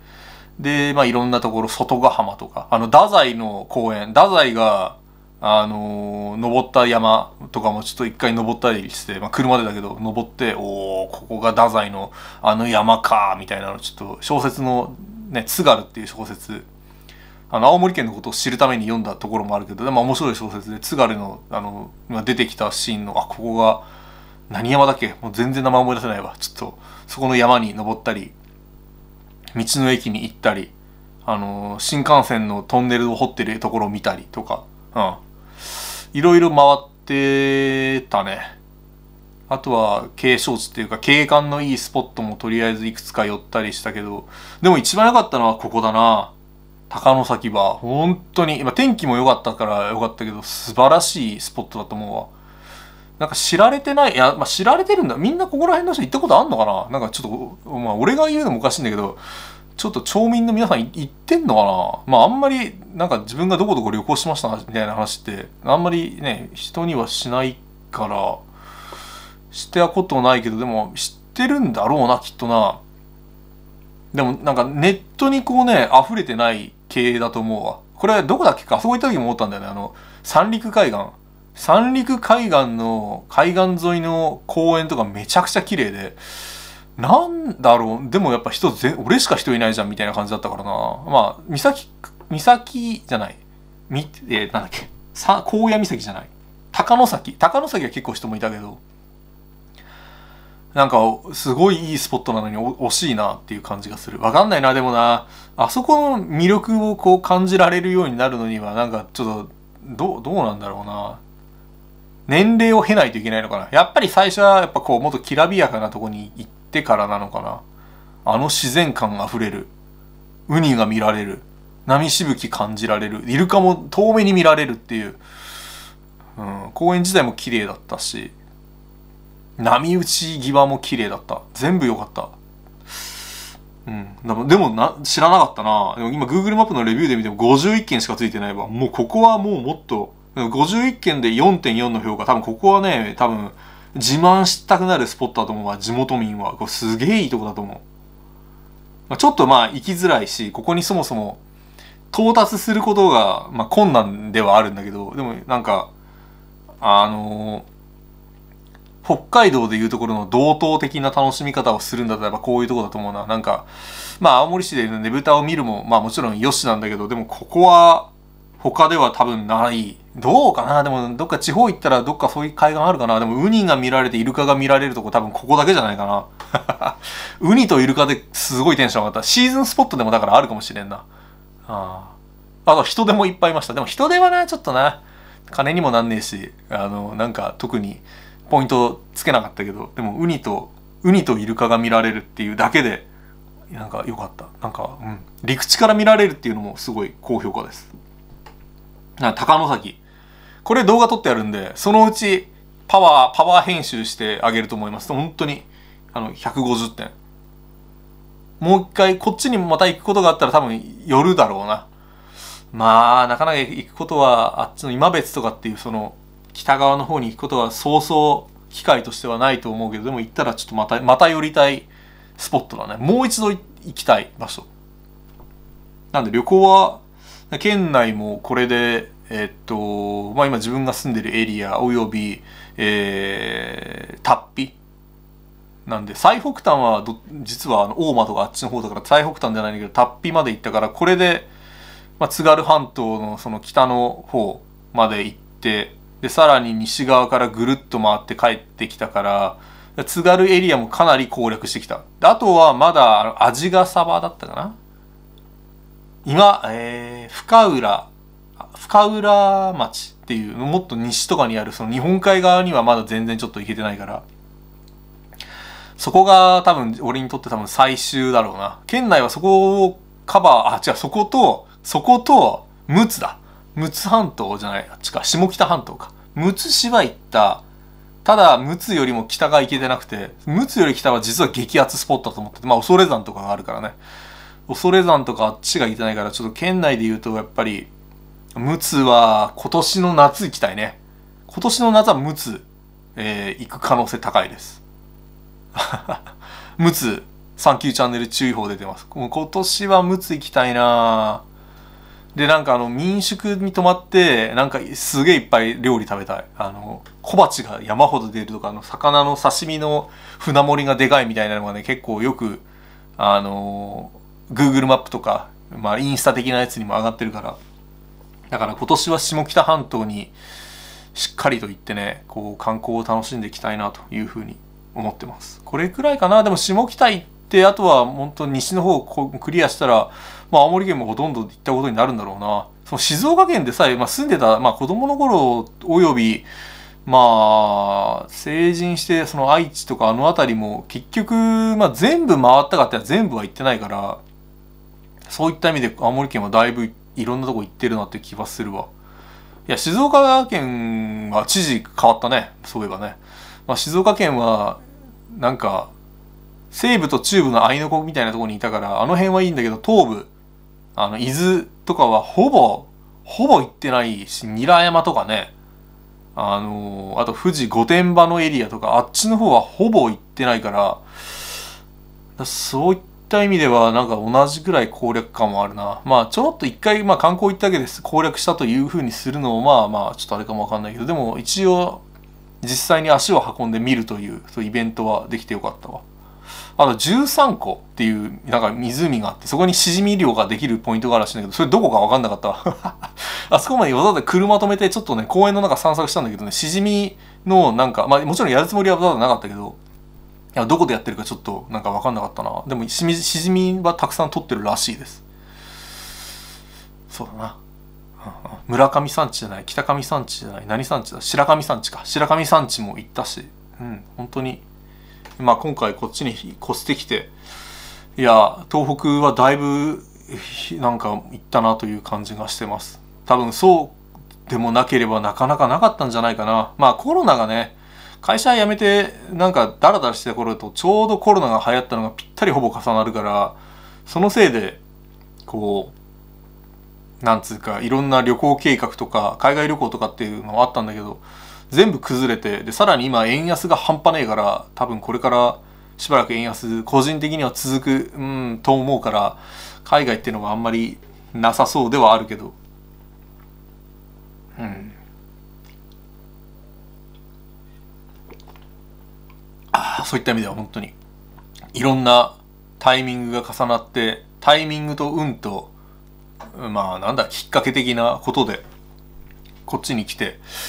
なんか随分とたくさんのとこ回れてすごく満足してます。でも次はあれだろうな。だからこれと同じメソッドを考えたら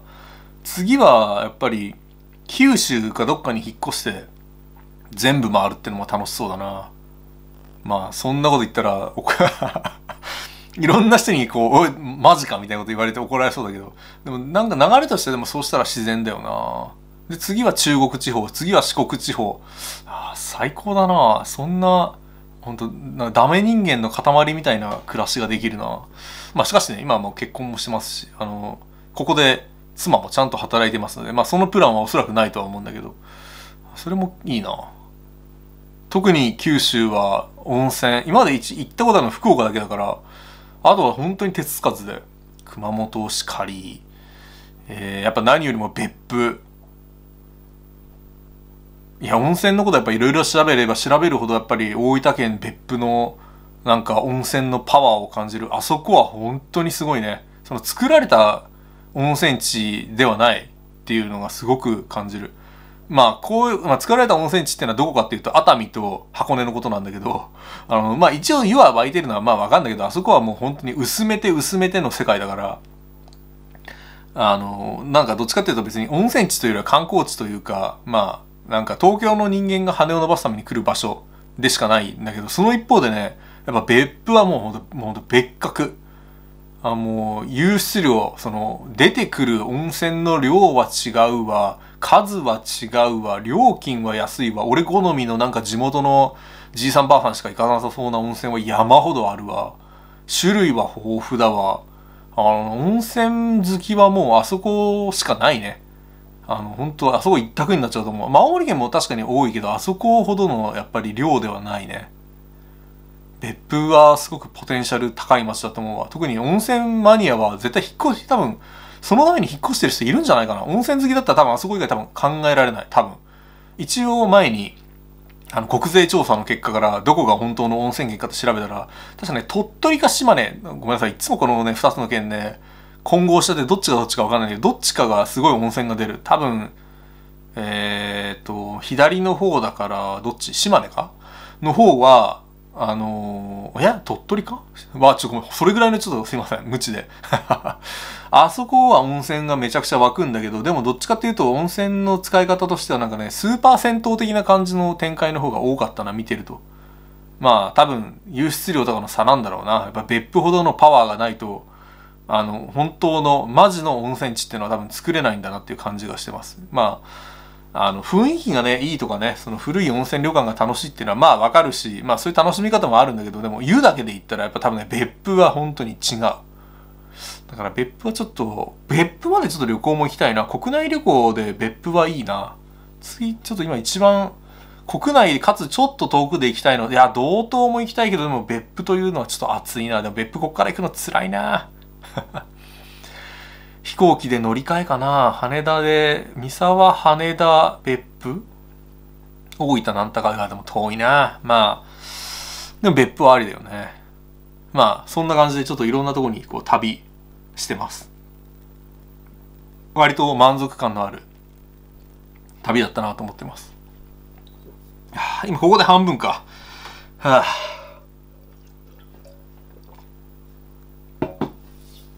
あまあそうだよねこの1年ぐらい何も更新してないとなると話すこともそれだけあるよなまあこういうのをちょっとずつ小出しにしてるぐらいの方がやっぱいいよなえー、次は仕事の話か。ああ、仕事の話ね。仕事の話は、そうね。まあ、その地域おこし協力隊になるやつを、制度を活用して今ここにいて、本来3年までのところが、まあ、おまけで、おまけでっていうのは一応ちゃんと正規の利用なので、おまけで4年目みたいな感じで今やってます。なんで、これが完全に終了するのはもう確定で、えー、来年の3月、2025年の3月には完全に終了という風になります。で、まあ、だから今やってることはまあほとんどあんま変わんないんだけど、まあいろんななんか動画を作ったりとか、なんか、細々とした仕事をちょこちょこやったりなどしてます。し、なんかあんまり多分中身についてそんながっつり詳細は多分話せない感じかなという感じはしてます。が、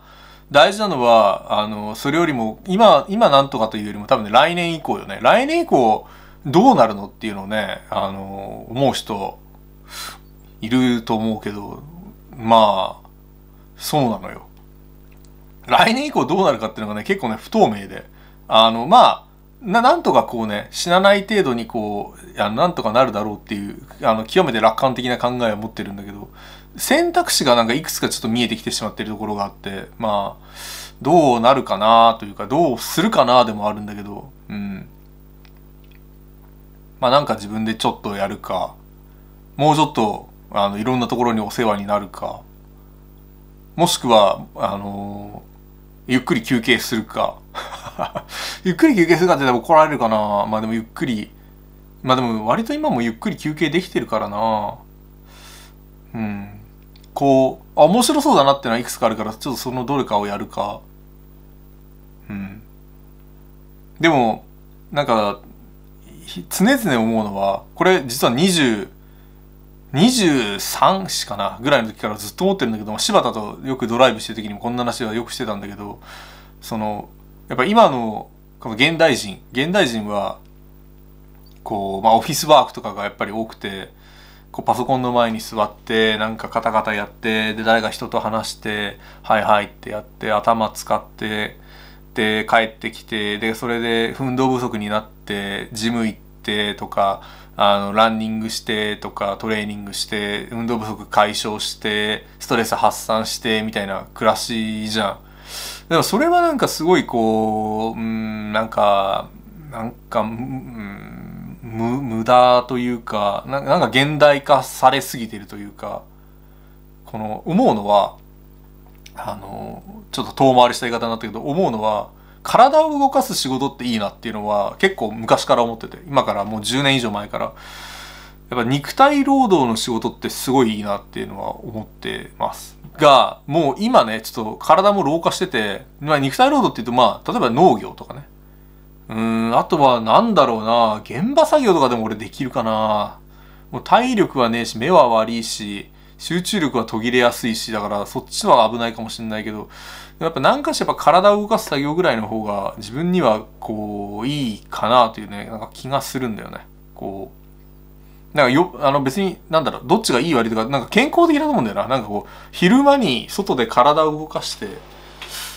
夜は温泉に一発入って、美味しいご飯を食べて寝るみたいな。なんかそういう日で日の、日の出とともに目覚めみたいな暮らしは、なんかむしろありな気がするんだよね。まあかといってねでも農業はそのあもう2時か。でまあもう2時なんだけどかといって農業は本当にガチでやってるその農家の方私もねここにいると知り合いが結構もう2桁ぐらいでもいるけどでもやっぱねすごい世界だよ。本当にでかい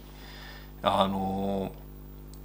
なんだトラクターっていうあの農業用のでかい車みたいなやつで。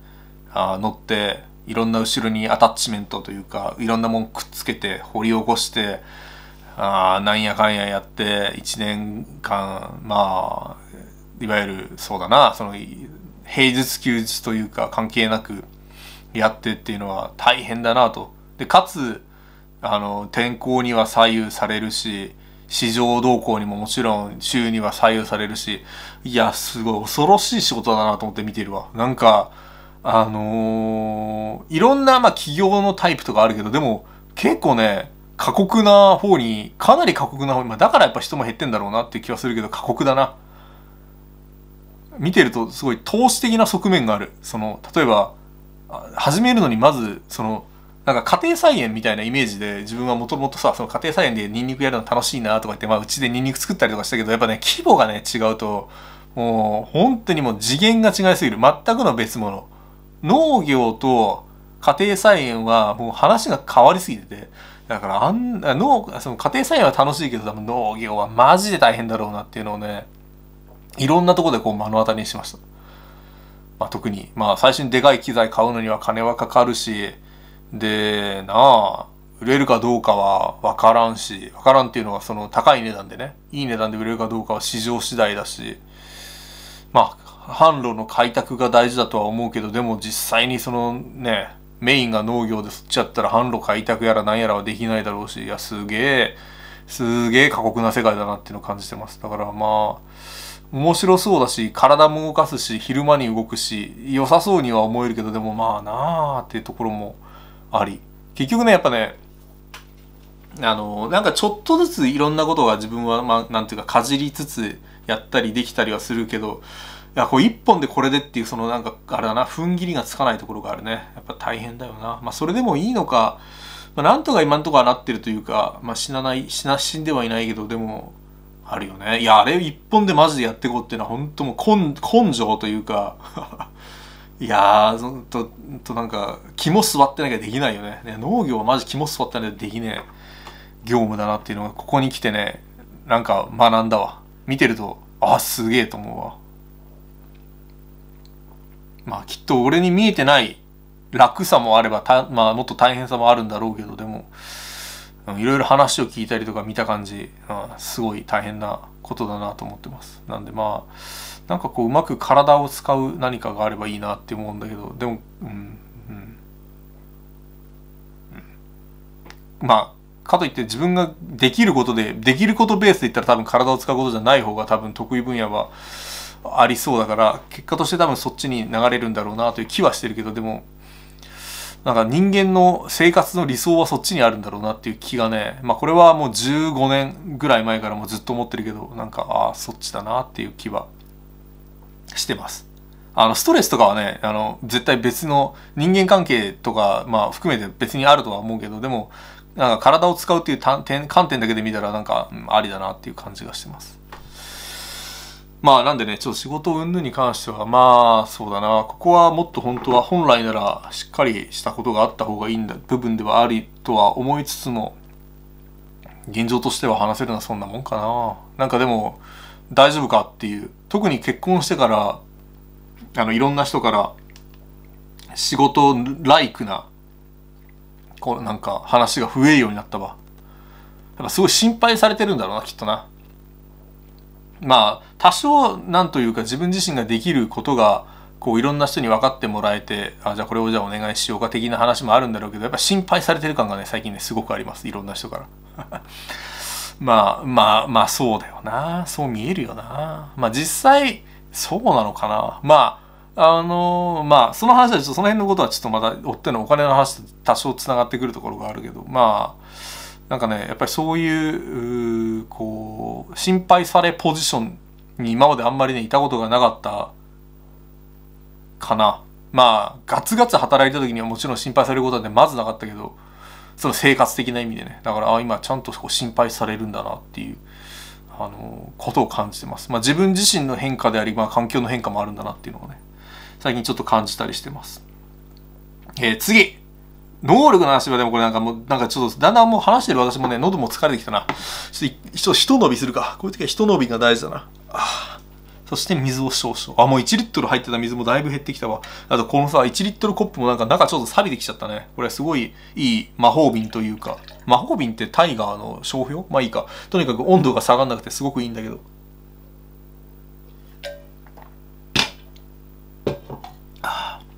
まあでもこれはいつかちゃんと時間をとってもう少し練って話をしたいって思ってたことだけど、能力の話に関しては、まあ要するに、なんだろうな、自分自身はこ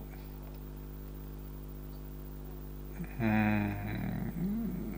まあ勤勉だった時もあり昔こういろんな、まあ、資格の勉強、まあ、昔っていうのは大学生ぐらいから始まる。まあ高校生の時はそれなりにまあそれなりだったかな。まあ勉強してたけど大学生あたりからこう振り返るとねあのまあちょうどね私の就職とか卒業する時期はリーマンショックという、まあ、今の若手は知らないかもしれない、まあ、不景気の大きなあの大不況の訪れのタイミングであこれはやばいなというなんかこう生きていけないかもしれないというかこれをちゃんとやんなきゃいかんなっていうのをなんか肌で感じるタイミングがあってまあそういうこともいろいろあって、まあ、英語の勉強であったりえそしてあとは IT 関係まあなんか Web 作ったりとかまああとはなんだろうな IT 関係でざっくり言うけど他なんだろうまあでも Web 作ったりぐらいか。IT だなんだっつったって自分が、まあ、できたのは所詮なんか Web サイト作ったりくらいだった気はするけどまあちょっとプログラミング書いて株価をなんか株株投資を始めたりとかしてたけどまあまあほとんどそんなことをやったりとか英語 IT、えー、そして英語 IT 簿記か。あ簿記簿記。会計っていうのかな。この3つはもう大学生の時に絶対この3つやっとけばまあ食いっぱぐれないだろうと。何があっても使える技術だなってその当時は思ったの。まあまあ今の話をすると英語に関しては多分そこからもう今落ちてて英語はもうこれから多分 IT のなんつうか発達でどんどんなんかいらなくなってくるんじゃないかなと個人的には思うけど。でもあのこれ話しとれていいかな？話大丈夫かな？時間はまあいいか。まあ俺のチャンネル別に時間制限ないもんね。話若干それるけど英語さなんかその英語を勉強する若手たちと話したりする機会があったりとかまああの優秀な頃と話すとやっぱ英語って結構なんかみんな一生懸命勉強してる人が多くて。でまあ自分自身はまあ大学生の時にこうがっつり勉強したから、まあ、その時の貯金があってまあ別になんていうかある程度話せるというか使えるレベルにはあるんだけどでも今ねそのまあこれもう AI の話もこう兼ねちゃうか。AI の発達とかでもう英語っていわゆる言語というのかな。あの習得する価値っていうのはだいぶね下がってる気はしてます。いやあのいわゆるそのここで誤解してほしくないのはその職業英語を使う系の人は多分食いっぱぐれないの。というのは専門性のあることができる人は AI だとやっぱりミスが起きうる仕事はできないから絶対ミスが起きてはいけない系の翻訳とか、まあ、通訳に関してはどうやっても AI には乗っ取られない、まあ、その人じゃないとできない仕事っていうのがあるんだけどそうじゃない。もっと軽度な翻訳。もっと軽めの翻訳とかうん通訳くらいだったらもう多分ね AI が取って変わる時代じゃないかなと思うんだよね。例えばこの前あの車屋さんの、まあ、知り合いがいて車屋さんの知り合いがなんかあの事故った時にその車の回収に行った時にその人アメリカ人だったんだってね。そのなんか事故った人が。でもアメリカ人だったけどその携帯のこうやってピッファイファイファイファイ みたいな通訳のやつがあってそれを使うとなんかちゃんと会話ができたって言っててだからまあもうなんか普通に話す分ぐらい必要に応じて必要な仕事とかの話ぐらいだったら多分も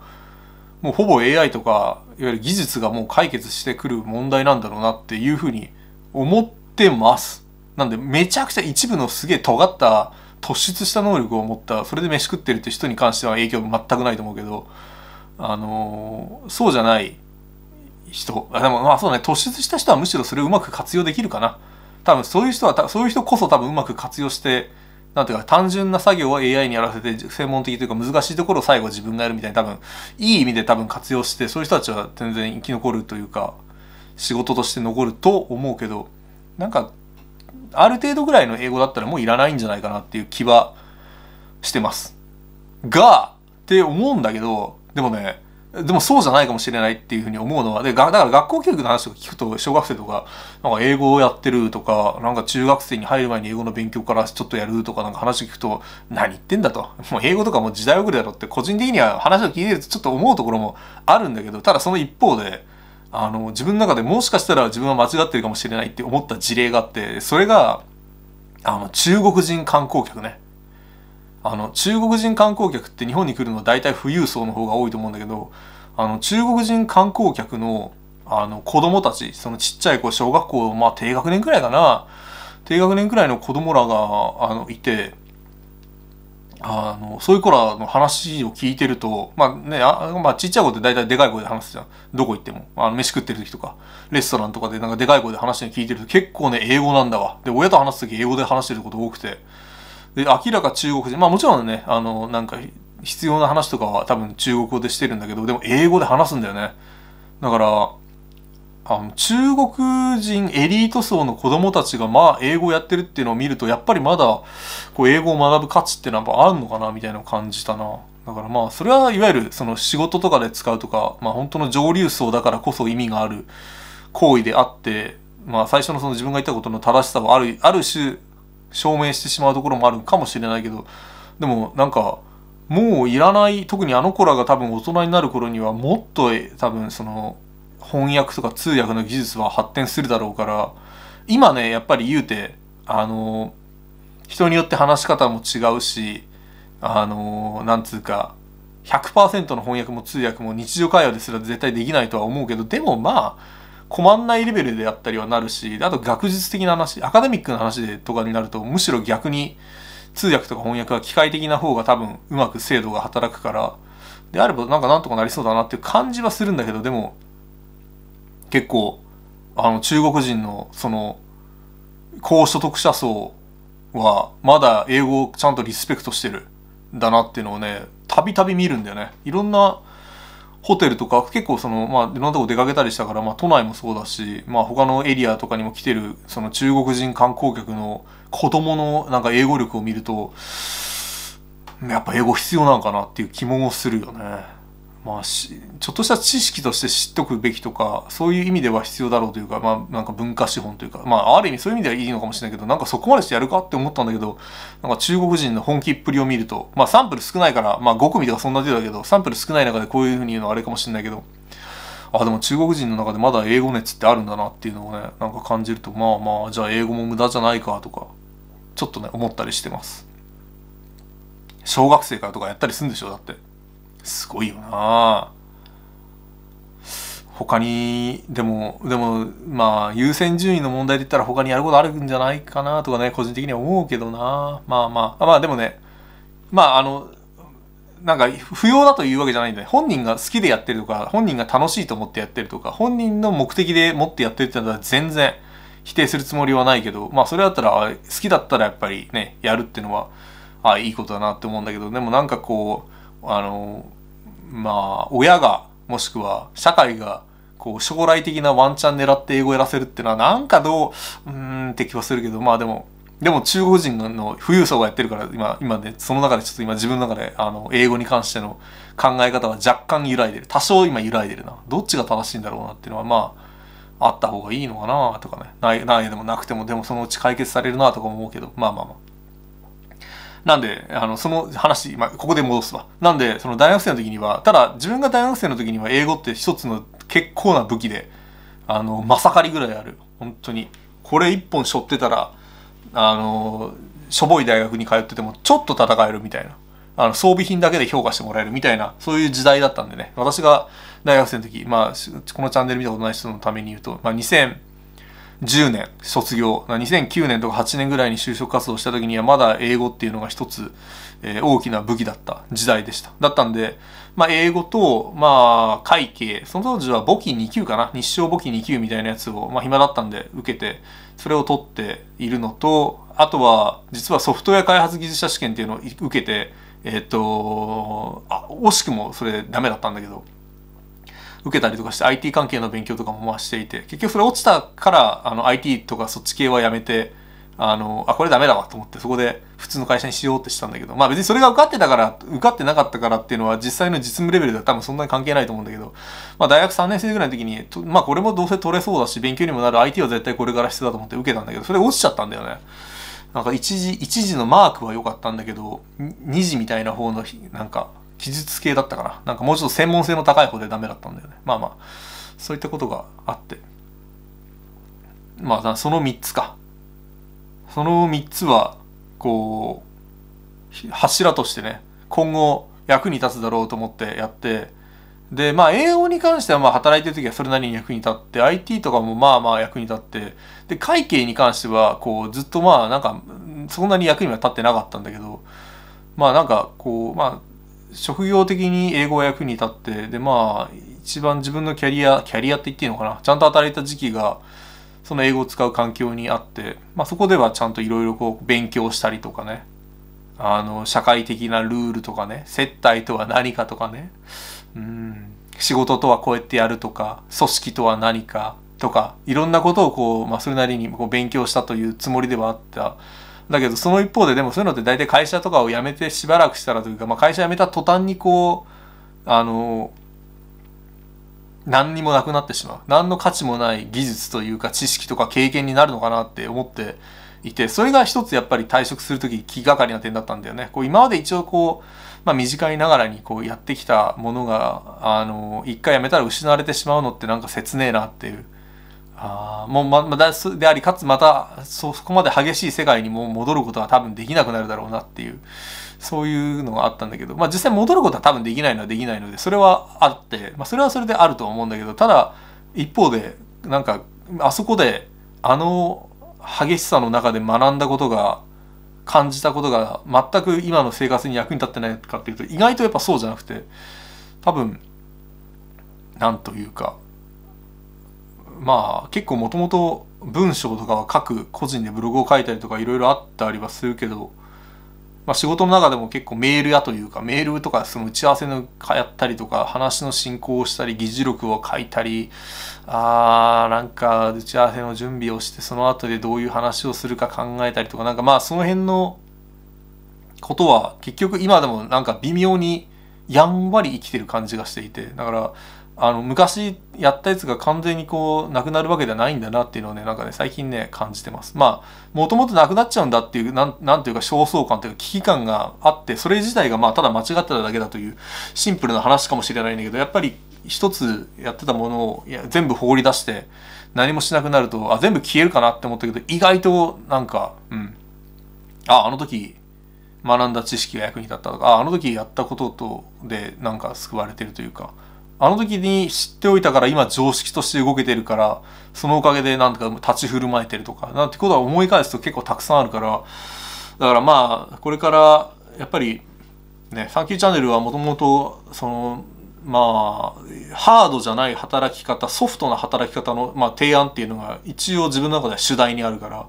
そのソフトな働き方まあソフトな働き方って聞こえがいいだけでまあそんなにしっかり働かないっていうことなんだけど。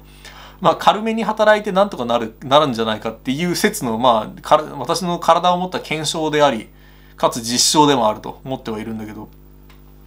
あのなんやっぱり多少のハードモードを前にやってたっていうこと自体は生き生きるなっていうのをね感じてます。まあそれはちょっと能力の話あ次お金の話なんだっけ？まあお金の話も実は全く同じだけどその金はどうせどうせ貯まっても意味ないなみたいなところもあったんだけどあこのこのままちょっとスムーズにシームレスに移行するか。まあ能力の話はそんなもんだよね。意外となんか役に立つことあるよっていうふうに思ってます。ただそうだ。能力の話に関して言うと要するに多分ね今ね俺今までの昔のあのちゃんとしてた時貯金にかなり頼ってると思う。今の自分のやってることは。あのいろんななんかややってることまあ今の生活含め全てのことは今までのハードな生活だった時に培ったものにこう頼っている貯金頼りで暮らしてる感じがやっぱりあって。で今俺は果たして何か貯金が増やせているかあのお金の意味じゃなくてその能力的な意味で。まあな結構怪しいところがあるなと思ってます。うん。何かここ数年で新たに明らかにこうやっぱ何かを得る時ってやっぱかなり負荷がかかる時だと思うんだけどなんか特に最近負荷かかってるイメージがなくてね自分の生活に負荷かかってる感じがあんまりなくてまあ実際ないんだけど多分負荷かかってないから負荷かけた時にやっぱ得られるものってやっぱあると思うから負荷かかってないからだからこれから先の5年10年はだどこ今の貯金が果たして何か使うことあるかとか貯金できてるかみたいな、ね、若干の不安もあるね。これ仕事の話だよね。今仕事の話コーナー、あ、能力の話コーナーか。まあでもあるんだけど、ああ、なんか、能力貯金、食い潰すみたいなもの多分減るような性質のものではないとは思うけど、でもなんかそれに頼ってばっかりな感じもするなって気がして、新たになんか乗っかってるかなって言われたら、あ、でも今ね、新たに乗っけようとしてることは一つあるわ。そうだ。一つ新たに乗っけようとしてるのがあって、それは今、なんかちょっとしたあのコミュニティ作りというか人と人とのつながりを作るみたいな俺あんまそういうの得意じゃなくてねというのは今までこう自分だけで何とかするのがいいというか一番いいと思ってたしそれが一番手っ取り早いと思ったんだけどまあそろそろそういうことではなくてもうちょっとまあみんなで何かやれたらいいみたいなことも少し考えていてだからそのためのコミュニティ作りみたいなものをちょっとやってます。始めました。これは新たなことで、まあ、まあ今更新たなことっていうのもまあだいぶ遅い気もするんだけど、まあでもちょっと新たなこととしてそれをやってるぐらいかな。なんかそれ以外でなんか、新たにどうだなんかハードに負荷かけてるみたいなのないかなちょっと今その新たなやつは軽めの負荷がかかってます。まあ軽めだからまああれだけど。くらいだな。なんか、だから昔の能力貯金は、えー、そんなには減らないというか、活用できるタイミングが意外なところでこう、コロッと訪れたりするっていうことが、まあ一個あったのと、あとは、今つ、今詰めてるかっていう若干の疑問があるっていう、それぐらいかな。まあ能力の話については大体そんなで。で、お金に関しても、なんか昔、その、お金がたくさんもらえた時はあったけど、その時はなんか金増えてるだけでこれ意味ねえなって思ったけど、でも今なんかこうやってのほほんと知られるのはやっぱりその辺の後ろ盾があってってところもあるから、なんかやっぱその辺もやっぱ徐々に考え方が変わってきたわ。いや、これは意味ねえわって思ったけど、やっぱ意味なかねえわっていう。うん、少しずつ、少しずつなんか、あの時のこの、あの、自分が報われてきた感じがしてます。ようやく。治癒だね。あの、治癒してきてます。昔の思い出が今今少しずつ治癒されてきているんで。それはいいことかなと思ってます。で金の話はまああの収入自体はあの昔に比べたらもう本当にすごい減ってはいるんだけどようやくね昨年からまあ今までちょっと株で遊んだりというかあのどうだみたいなギャンブル的なことはしてたんだけどえー、去年からちゃんとした、えー、積み立て、まあ、によく言われる最近流行りの NISA とかをね、えー、やったりしてます。なんでまあ今結構それなり、まあ今タイミング、始めたタイミングが去年の10月とかで、えー、まあ経済とかそっちのニュースとかをまあ見てる人だったらまあご存知の通り、まあたまたま今いい具合にそこからこうずっと右肩上がりで今も上がり続けてるみたいな、えー、状況ということもあって、まあ、まあ投資も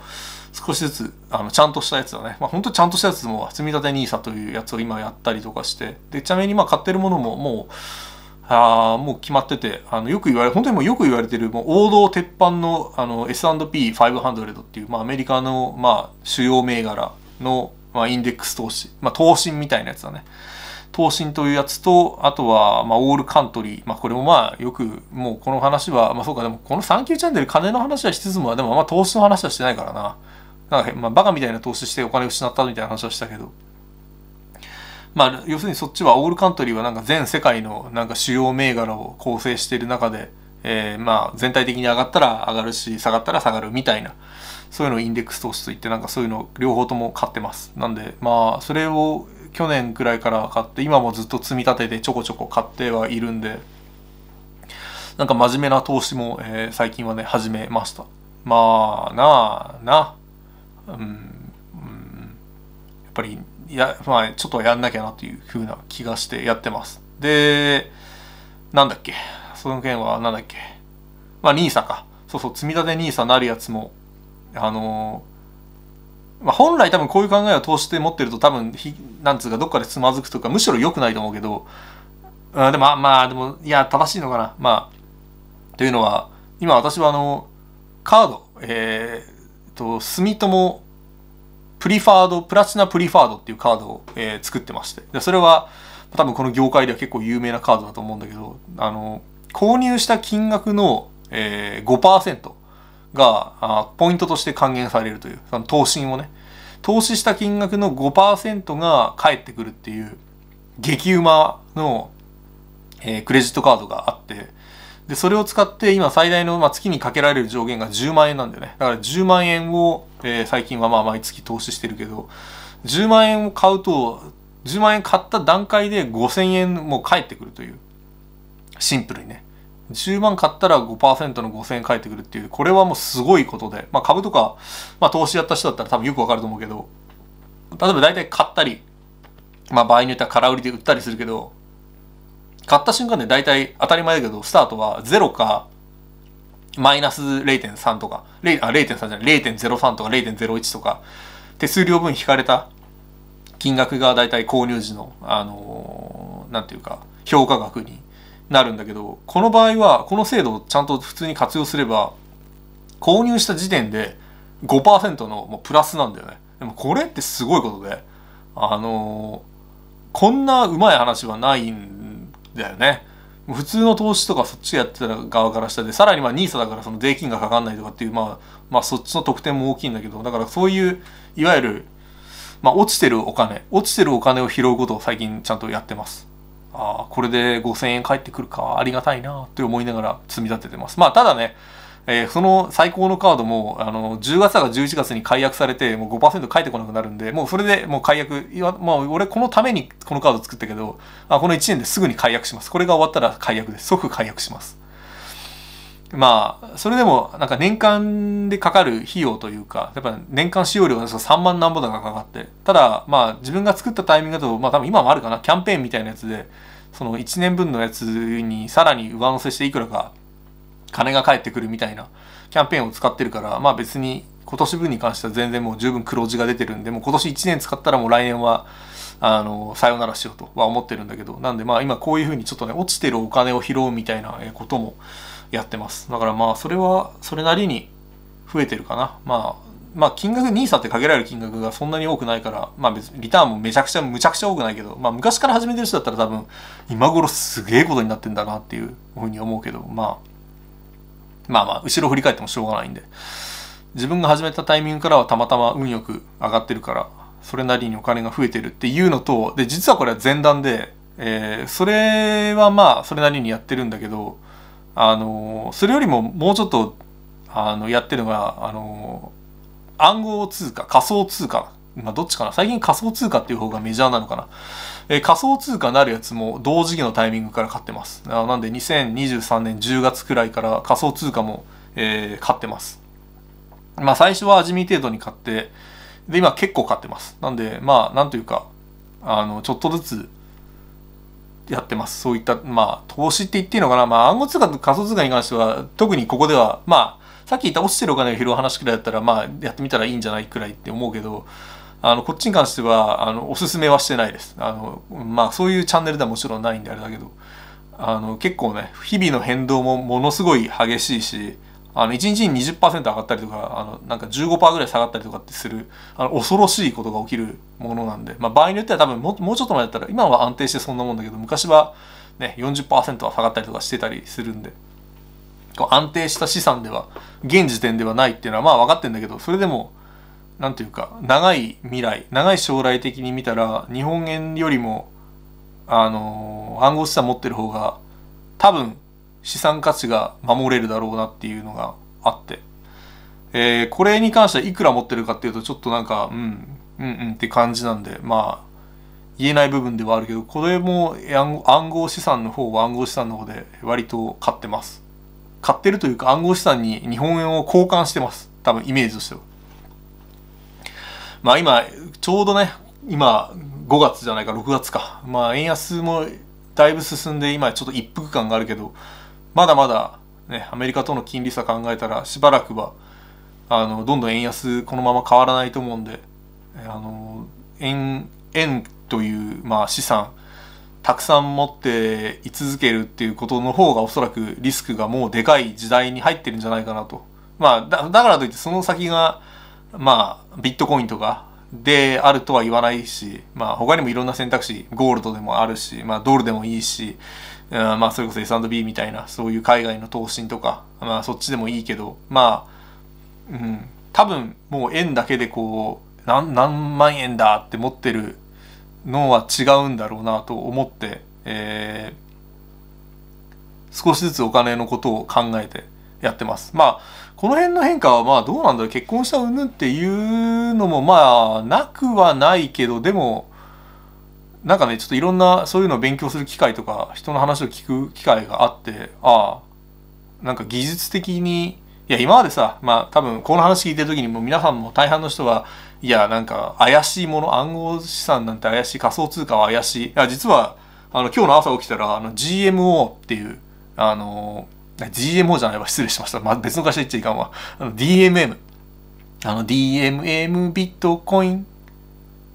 それ GMO の、あれかな。まあいいや。まあ DMM っていう、あのファンザを作ってる会社。あのなんだろう、アダルトサイトの運営者、運営の会社だと思うんだけど、その、あの DMM が、えー、保管していたビットコインが480億円分ぐらいが盗まれたっていうのがあのニュースになっててまあそういう話を聞くとさらにこうねあの暗号資産とかビットコインとか危ないものだって聞こえると思うし、まあ、実際リスクはあるとは思うけど思うけどただなんというか技術的な思想としてビットコインとか、まあ、それにと他にもいっぱいアルトコインって言ってなんかやたらいっぱいいろんな暗号資産というか仮想通貨が大量にあるけどまあ価値がこれからそっちの方に上がっていくんじゃないかな、まあ、すなわち逆に言うと通貨円とかの価値が下がってそっちの方が価値があるものになるんじゃないかと私は思ってます。なんで私はそうだと信じて、えー、長期だな。だからもう最初に買ってからもうだから10ヶ月はいかないか。もう8ヶ月くらい経ってるか。だからもう全然もうあのしばらくまあ何があるかね見ないことは分かんないけどしばらく何年という単位で多分もう円に戻すことは多分ないです。あ一回そうだな、うん、大きな一応今までのビットコインのこうなんか波みたいなのがあってなんか何年おきに上がって下がってみたいな話があるけどでもそろそろそういう話じゃもうなくなってるんじゃないかなって個人的にはしてます。まあこの辺は素人の意見なんであの耳かもう左から右へで流してもらっていいけど。あのもうビットコインのその資産時価総額っていうのかな。今存在する金額はもう恐ろしくて銀とか銀の相場とかとほとんど変わんないぐらいまでもう価値のあるものだとしてあの世界で認められててものなのでまあこういう話すればするとうさんくさいな。まあでもあの皆さんにおすすめするものではないです。ただ私はそれを信じて、えー、今割と割と大きめの、まあ、金額でちょっと買ったりしてます。で売るつもりも今のところはどうだろうな。5年10年と見て多分ないと思います。多分。まあよっぽどのことが多分ない限りないです。なんでまあそういうふうにちょっと自分の資産を少しずついろんなものに変えたりとか投資らしい投資。最初に話した方は多分順当な投資。後の方はまあ聞く人が聞いたらお前それやばいぞ大丈夫かって思う話だと思うんだけど。まあそれなりに自分の中でこう納得して、まあもしダメだったらダメでしょうがないと思ってるし、まあダメになってもしょうがないし、ダメになったとしても、まあ食っていける分のお金はまあ残るだろうとは思ってるけど、まあそしてかつそうなる可能性は極めて低いと私は思ってます。まあなので、あのちょっとそっち側の方も、あの今まで起きてたその陶器みたいなこう、まあ波はおそらく、おそらくまあないんじゃないかな、まあ、ビットコインのそのプロトコルというかその原理そのものを破壊するような技術の発展が起きたら多分終わるんだろうけどそうじゃない限り多分終わらないと思うんで。まあでもそういうのも何年かしたら起きるのかな、まあ、技術破壊とかもっとすごいことが起きたら変わると思うけどまあそれまでは安泰かなと思うので。しばらくは。まあそういった形で。まあ運用って言っていいのかな。まあちょっとお金のことを考えてやってます。まあ、まあ、なんとかなるだろうくらいではあるけど、うん、まあまあまあまあまあ、まあ、これに関しては、本当に自分に近しい親しい人にはあのこういうの買ったらどうですかっていうあの話はしてるけどそう言って実際にあじゃあちょっと少しですけど買ってみますみたいな話をした人はほとんどいない。一人だけかな。まあまあもともとその人はそういうの投資とかをやってた人だったからあれだったけど。まあやっぱねあのなんか自分で責任を持って投資をできる人以外には進めないんで、なんです。あんまり人には進めてないし、まあ、この動画でももちろん進めるものではないんでね、まあ、皆さんは皆さんのこの考えとやり方でお金とは向き合うべきだと思うので、まあまあ、そういうの最近私はやってますよ、くらいに聞いといてもらえればと思います。まあね、楽観的に見れば、まあもっと増えるだろうなとは思ってるんだけど、まあまあまあまあ、未来の話なんで、っていうところです。まあ AI の話はもうさっきの話でいいや。もう AI の話っていう話だったけど、これ略にします。AI はなし。あ、でも AI の話でしたかったのは、でも AI がいろんな仕事やってくれるから、なんかもう人のやることだいぶ減ってくるだろうなっていう時に、こう、いかにして、こう、余暇。あ、これは余暇の話にするか。余暇を、なんか、自分でこう消化できるかっていうのは大事だなっていうのをなんか感じます。なんで多分そういう時代が来るんじゃないかな。今から20年30年いやもっと早いかな20年30年したら多分やることなくて暇な人ってたくさん生まれるんじゃないかな今のこう頭を使っているとされているというか、まあ、事務的なホワイトワーカーと言われる人の仕事ってほとんどもいらないような時代は多分近々やってきてでその AI を作ったりとか改造したりとかそっち系の人は残ってってなるとやっぱり体今はまだそのロボットが日本人間よりも高いからあのロボットに侵食されてないというかやっぱやっぱり肉体労働って結局そう簡単にはあのー、なんていうか AI から奪われない仕事の代表だと思うからトラクターの作業とかね。まあそういうのも徐々に変わってるかもわかんない。あのでもトラクターの作業というよりもっと細かいなんか仕事手先を使う指先を使う系の仕事ってやっぱりここに来て逆に見直されるんじゃないかなっていう気はします。工芸品とかはどうなんだろうな。工芸品とかになるとでも AI とかの得意分野になるのかな。まあなのでこう文章とかねライターとかもだいぶきついみたいだからな。やっぱそう考えると結局あの人間らしさっていうのをいかに出すかだよねきっとね。いやでも今は AI が人間らしさ出そうとしたら出せるようになってきてるのが本当にすごいし怖いなって思うからね AI がなんか人に好かれそうな人格っていうのも AI の方がちゃんと正しく判断してそれを正しくこう演じられるというか作り上げることができるようになるからからそういった意味でなんかちょっと一癖あるライターとかさ一癖ある動画を作る人みたいなのってやっぱり人間らしさというか他の人とは違うもう法品じゃないなっていう感じがするのもあるけどでもそういうのを作るのも多分 AI の得意分野じゃないかなって気もするよね。こういろんなこの過去のデータとかいろんなのからあさってこれとこれを掛け合わせたこんな感じの雰囲気なのでどうだってやったやつが多分きっとみんな好きだろうみたいな風にしてなんかできちゃったりとかしたらなんかもういわゆるクリエイティブ産業と言われてるところもなんか何何が残るのかなって思っちゃうよね。残るのはやっぱりやっぱの、うん、そっち系じゃないかなっていう気はするけどね。まあ私は私はそれもまた専門家じゃないちょっとたわごとだと思って聞いてください。でもなんかいろんな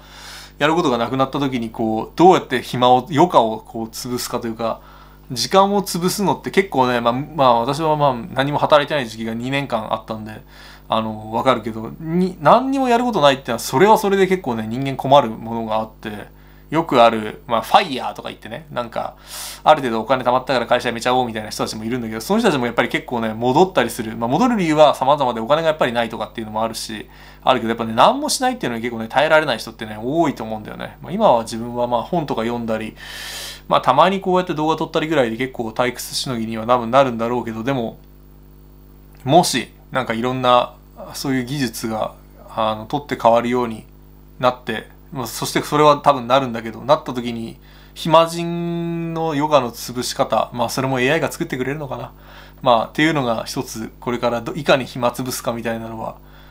なんか悩みになるんじゃないかなっていう。まあいうまあいい悩みっていうか幸せな悩みかもしれないけどそうじゃないそういうふうになる日もあってもおかしくないのかなとかっていうのはね私は思ってます。まあそれもどうなるか。わからんけど。まあそういった意味でもなんかそんなになんかうん。まああれだな。自分のこう考えを正当化するためにこういう妄想妄言を垂れてるのかもしれないけどそういった意味でもなんかあんまりこううん。がっつり何かで頑張ろうみたいな感じの気にもならないんだよな。まあまあそれは良くないとこかもしれないけど。まあ以上があの AI 余暇あそしてこれからの話も兼ねるわ。もう今のもこれからの話も兼ねるわ。そうしよう。なんでまあねサンキューチャンネル。あそうかサンキューチャンネル。YouTube としてのサンキューチャンネルはまあそうだな。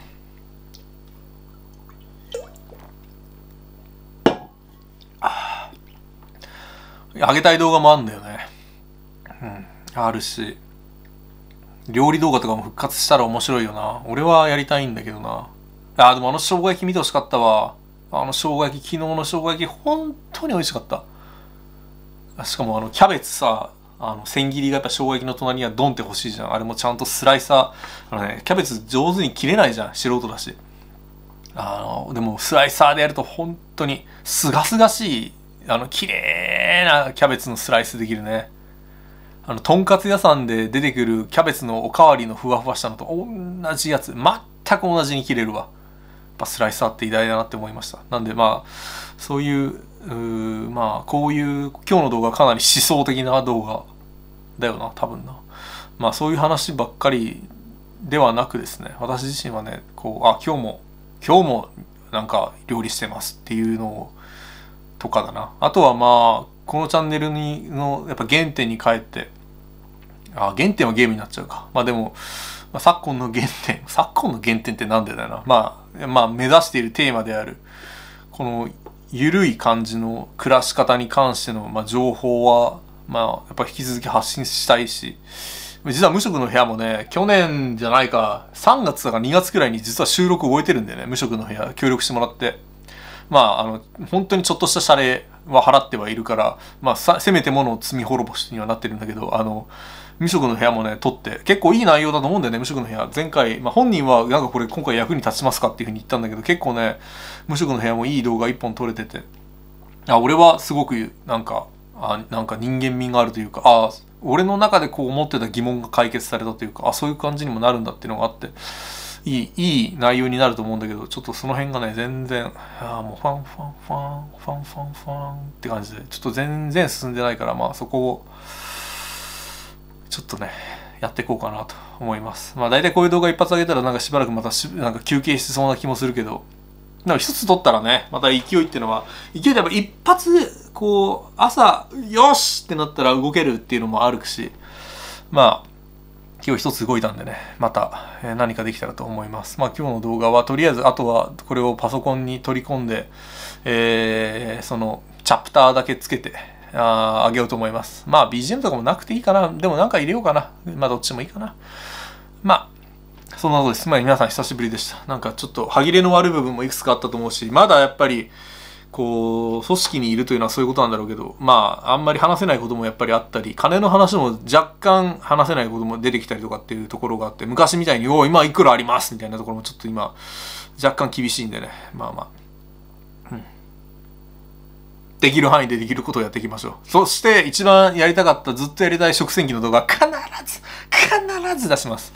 食洗機は絶対これも本当に、料理をする人だったら、本当一人暮らしでも買った方がいいと思ってるんで、まあ、その話はいつかします。それでは皆さん元気で、また、また会いましょう。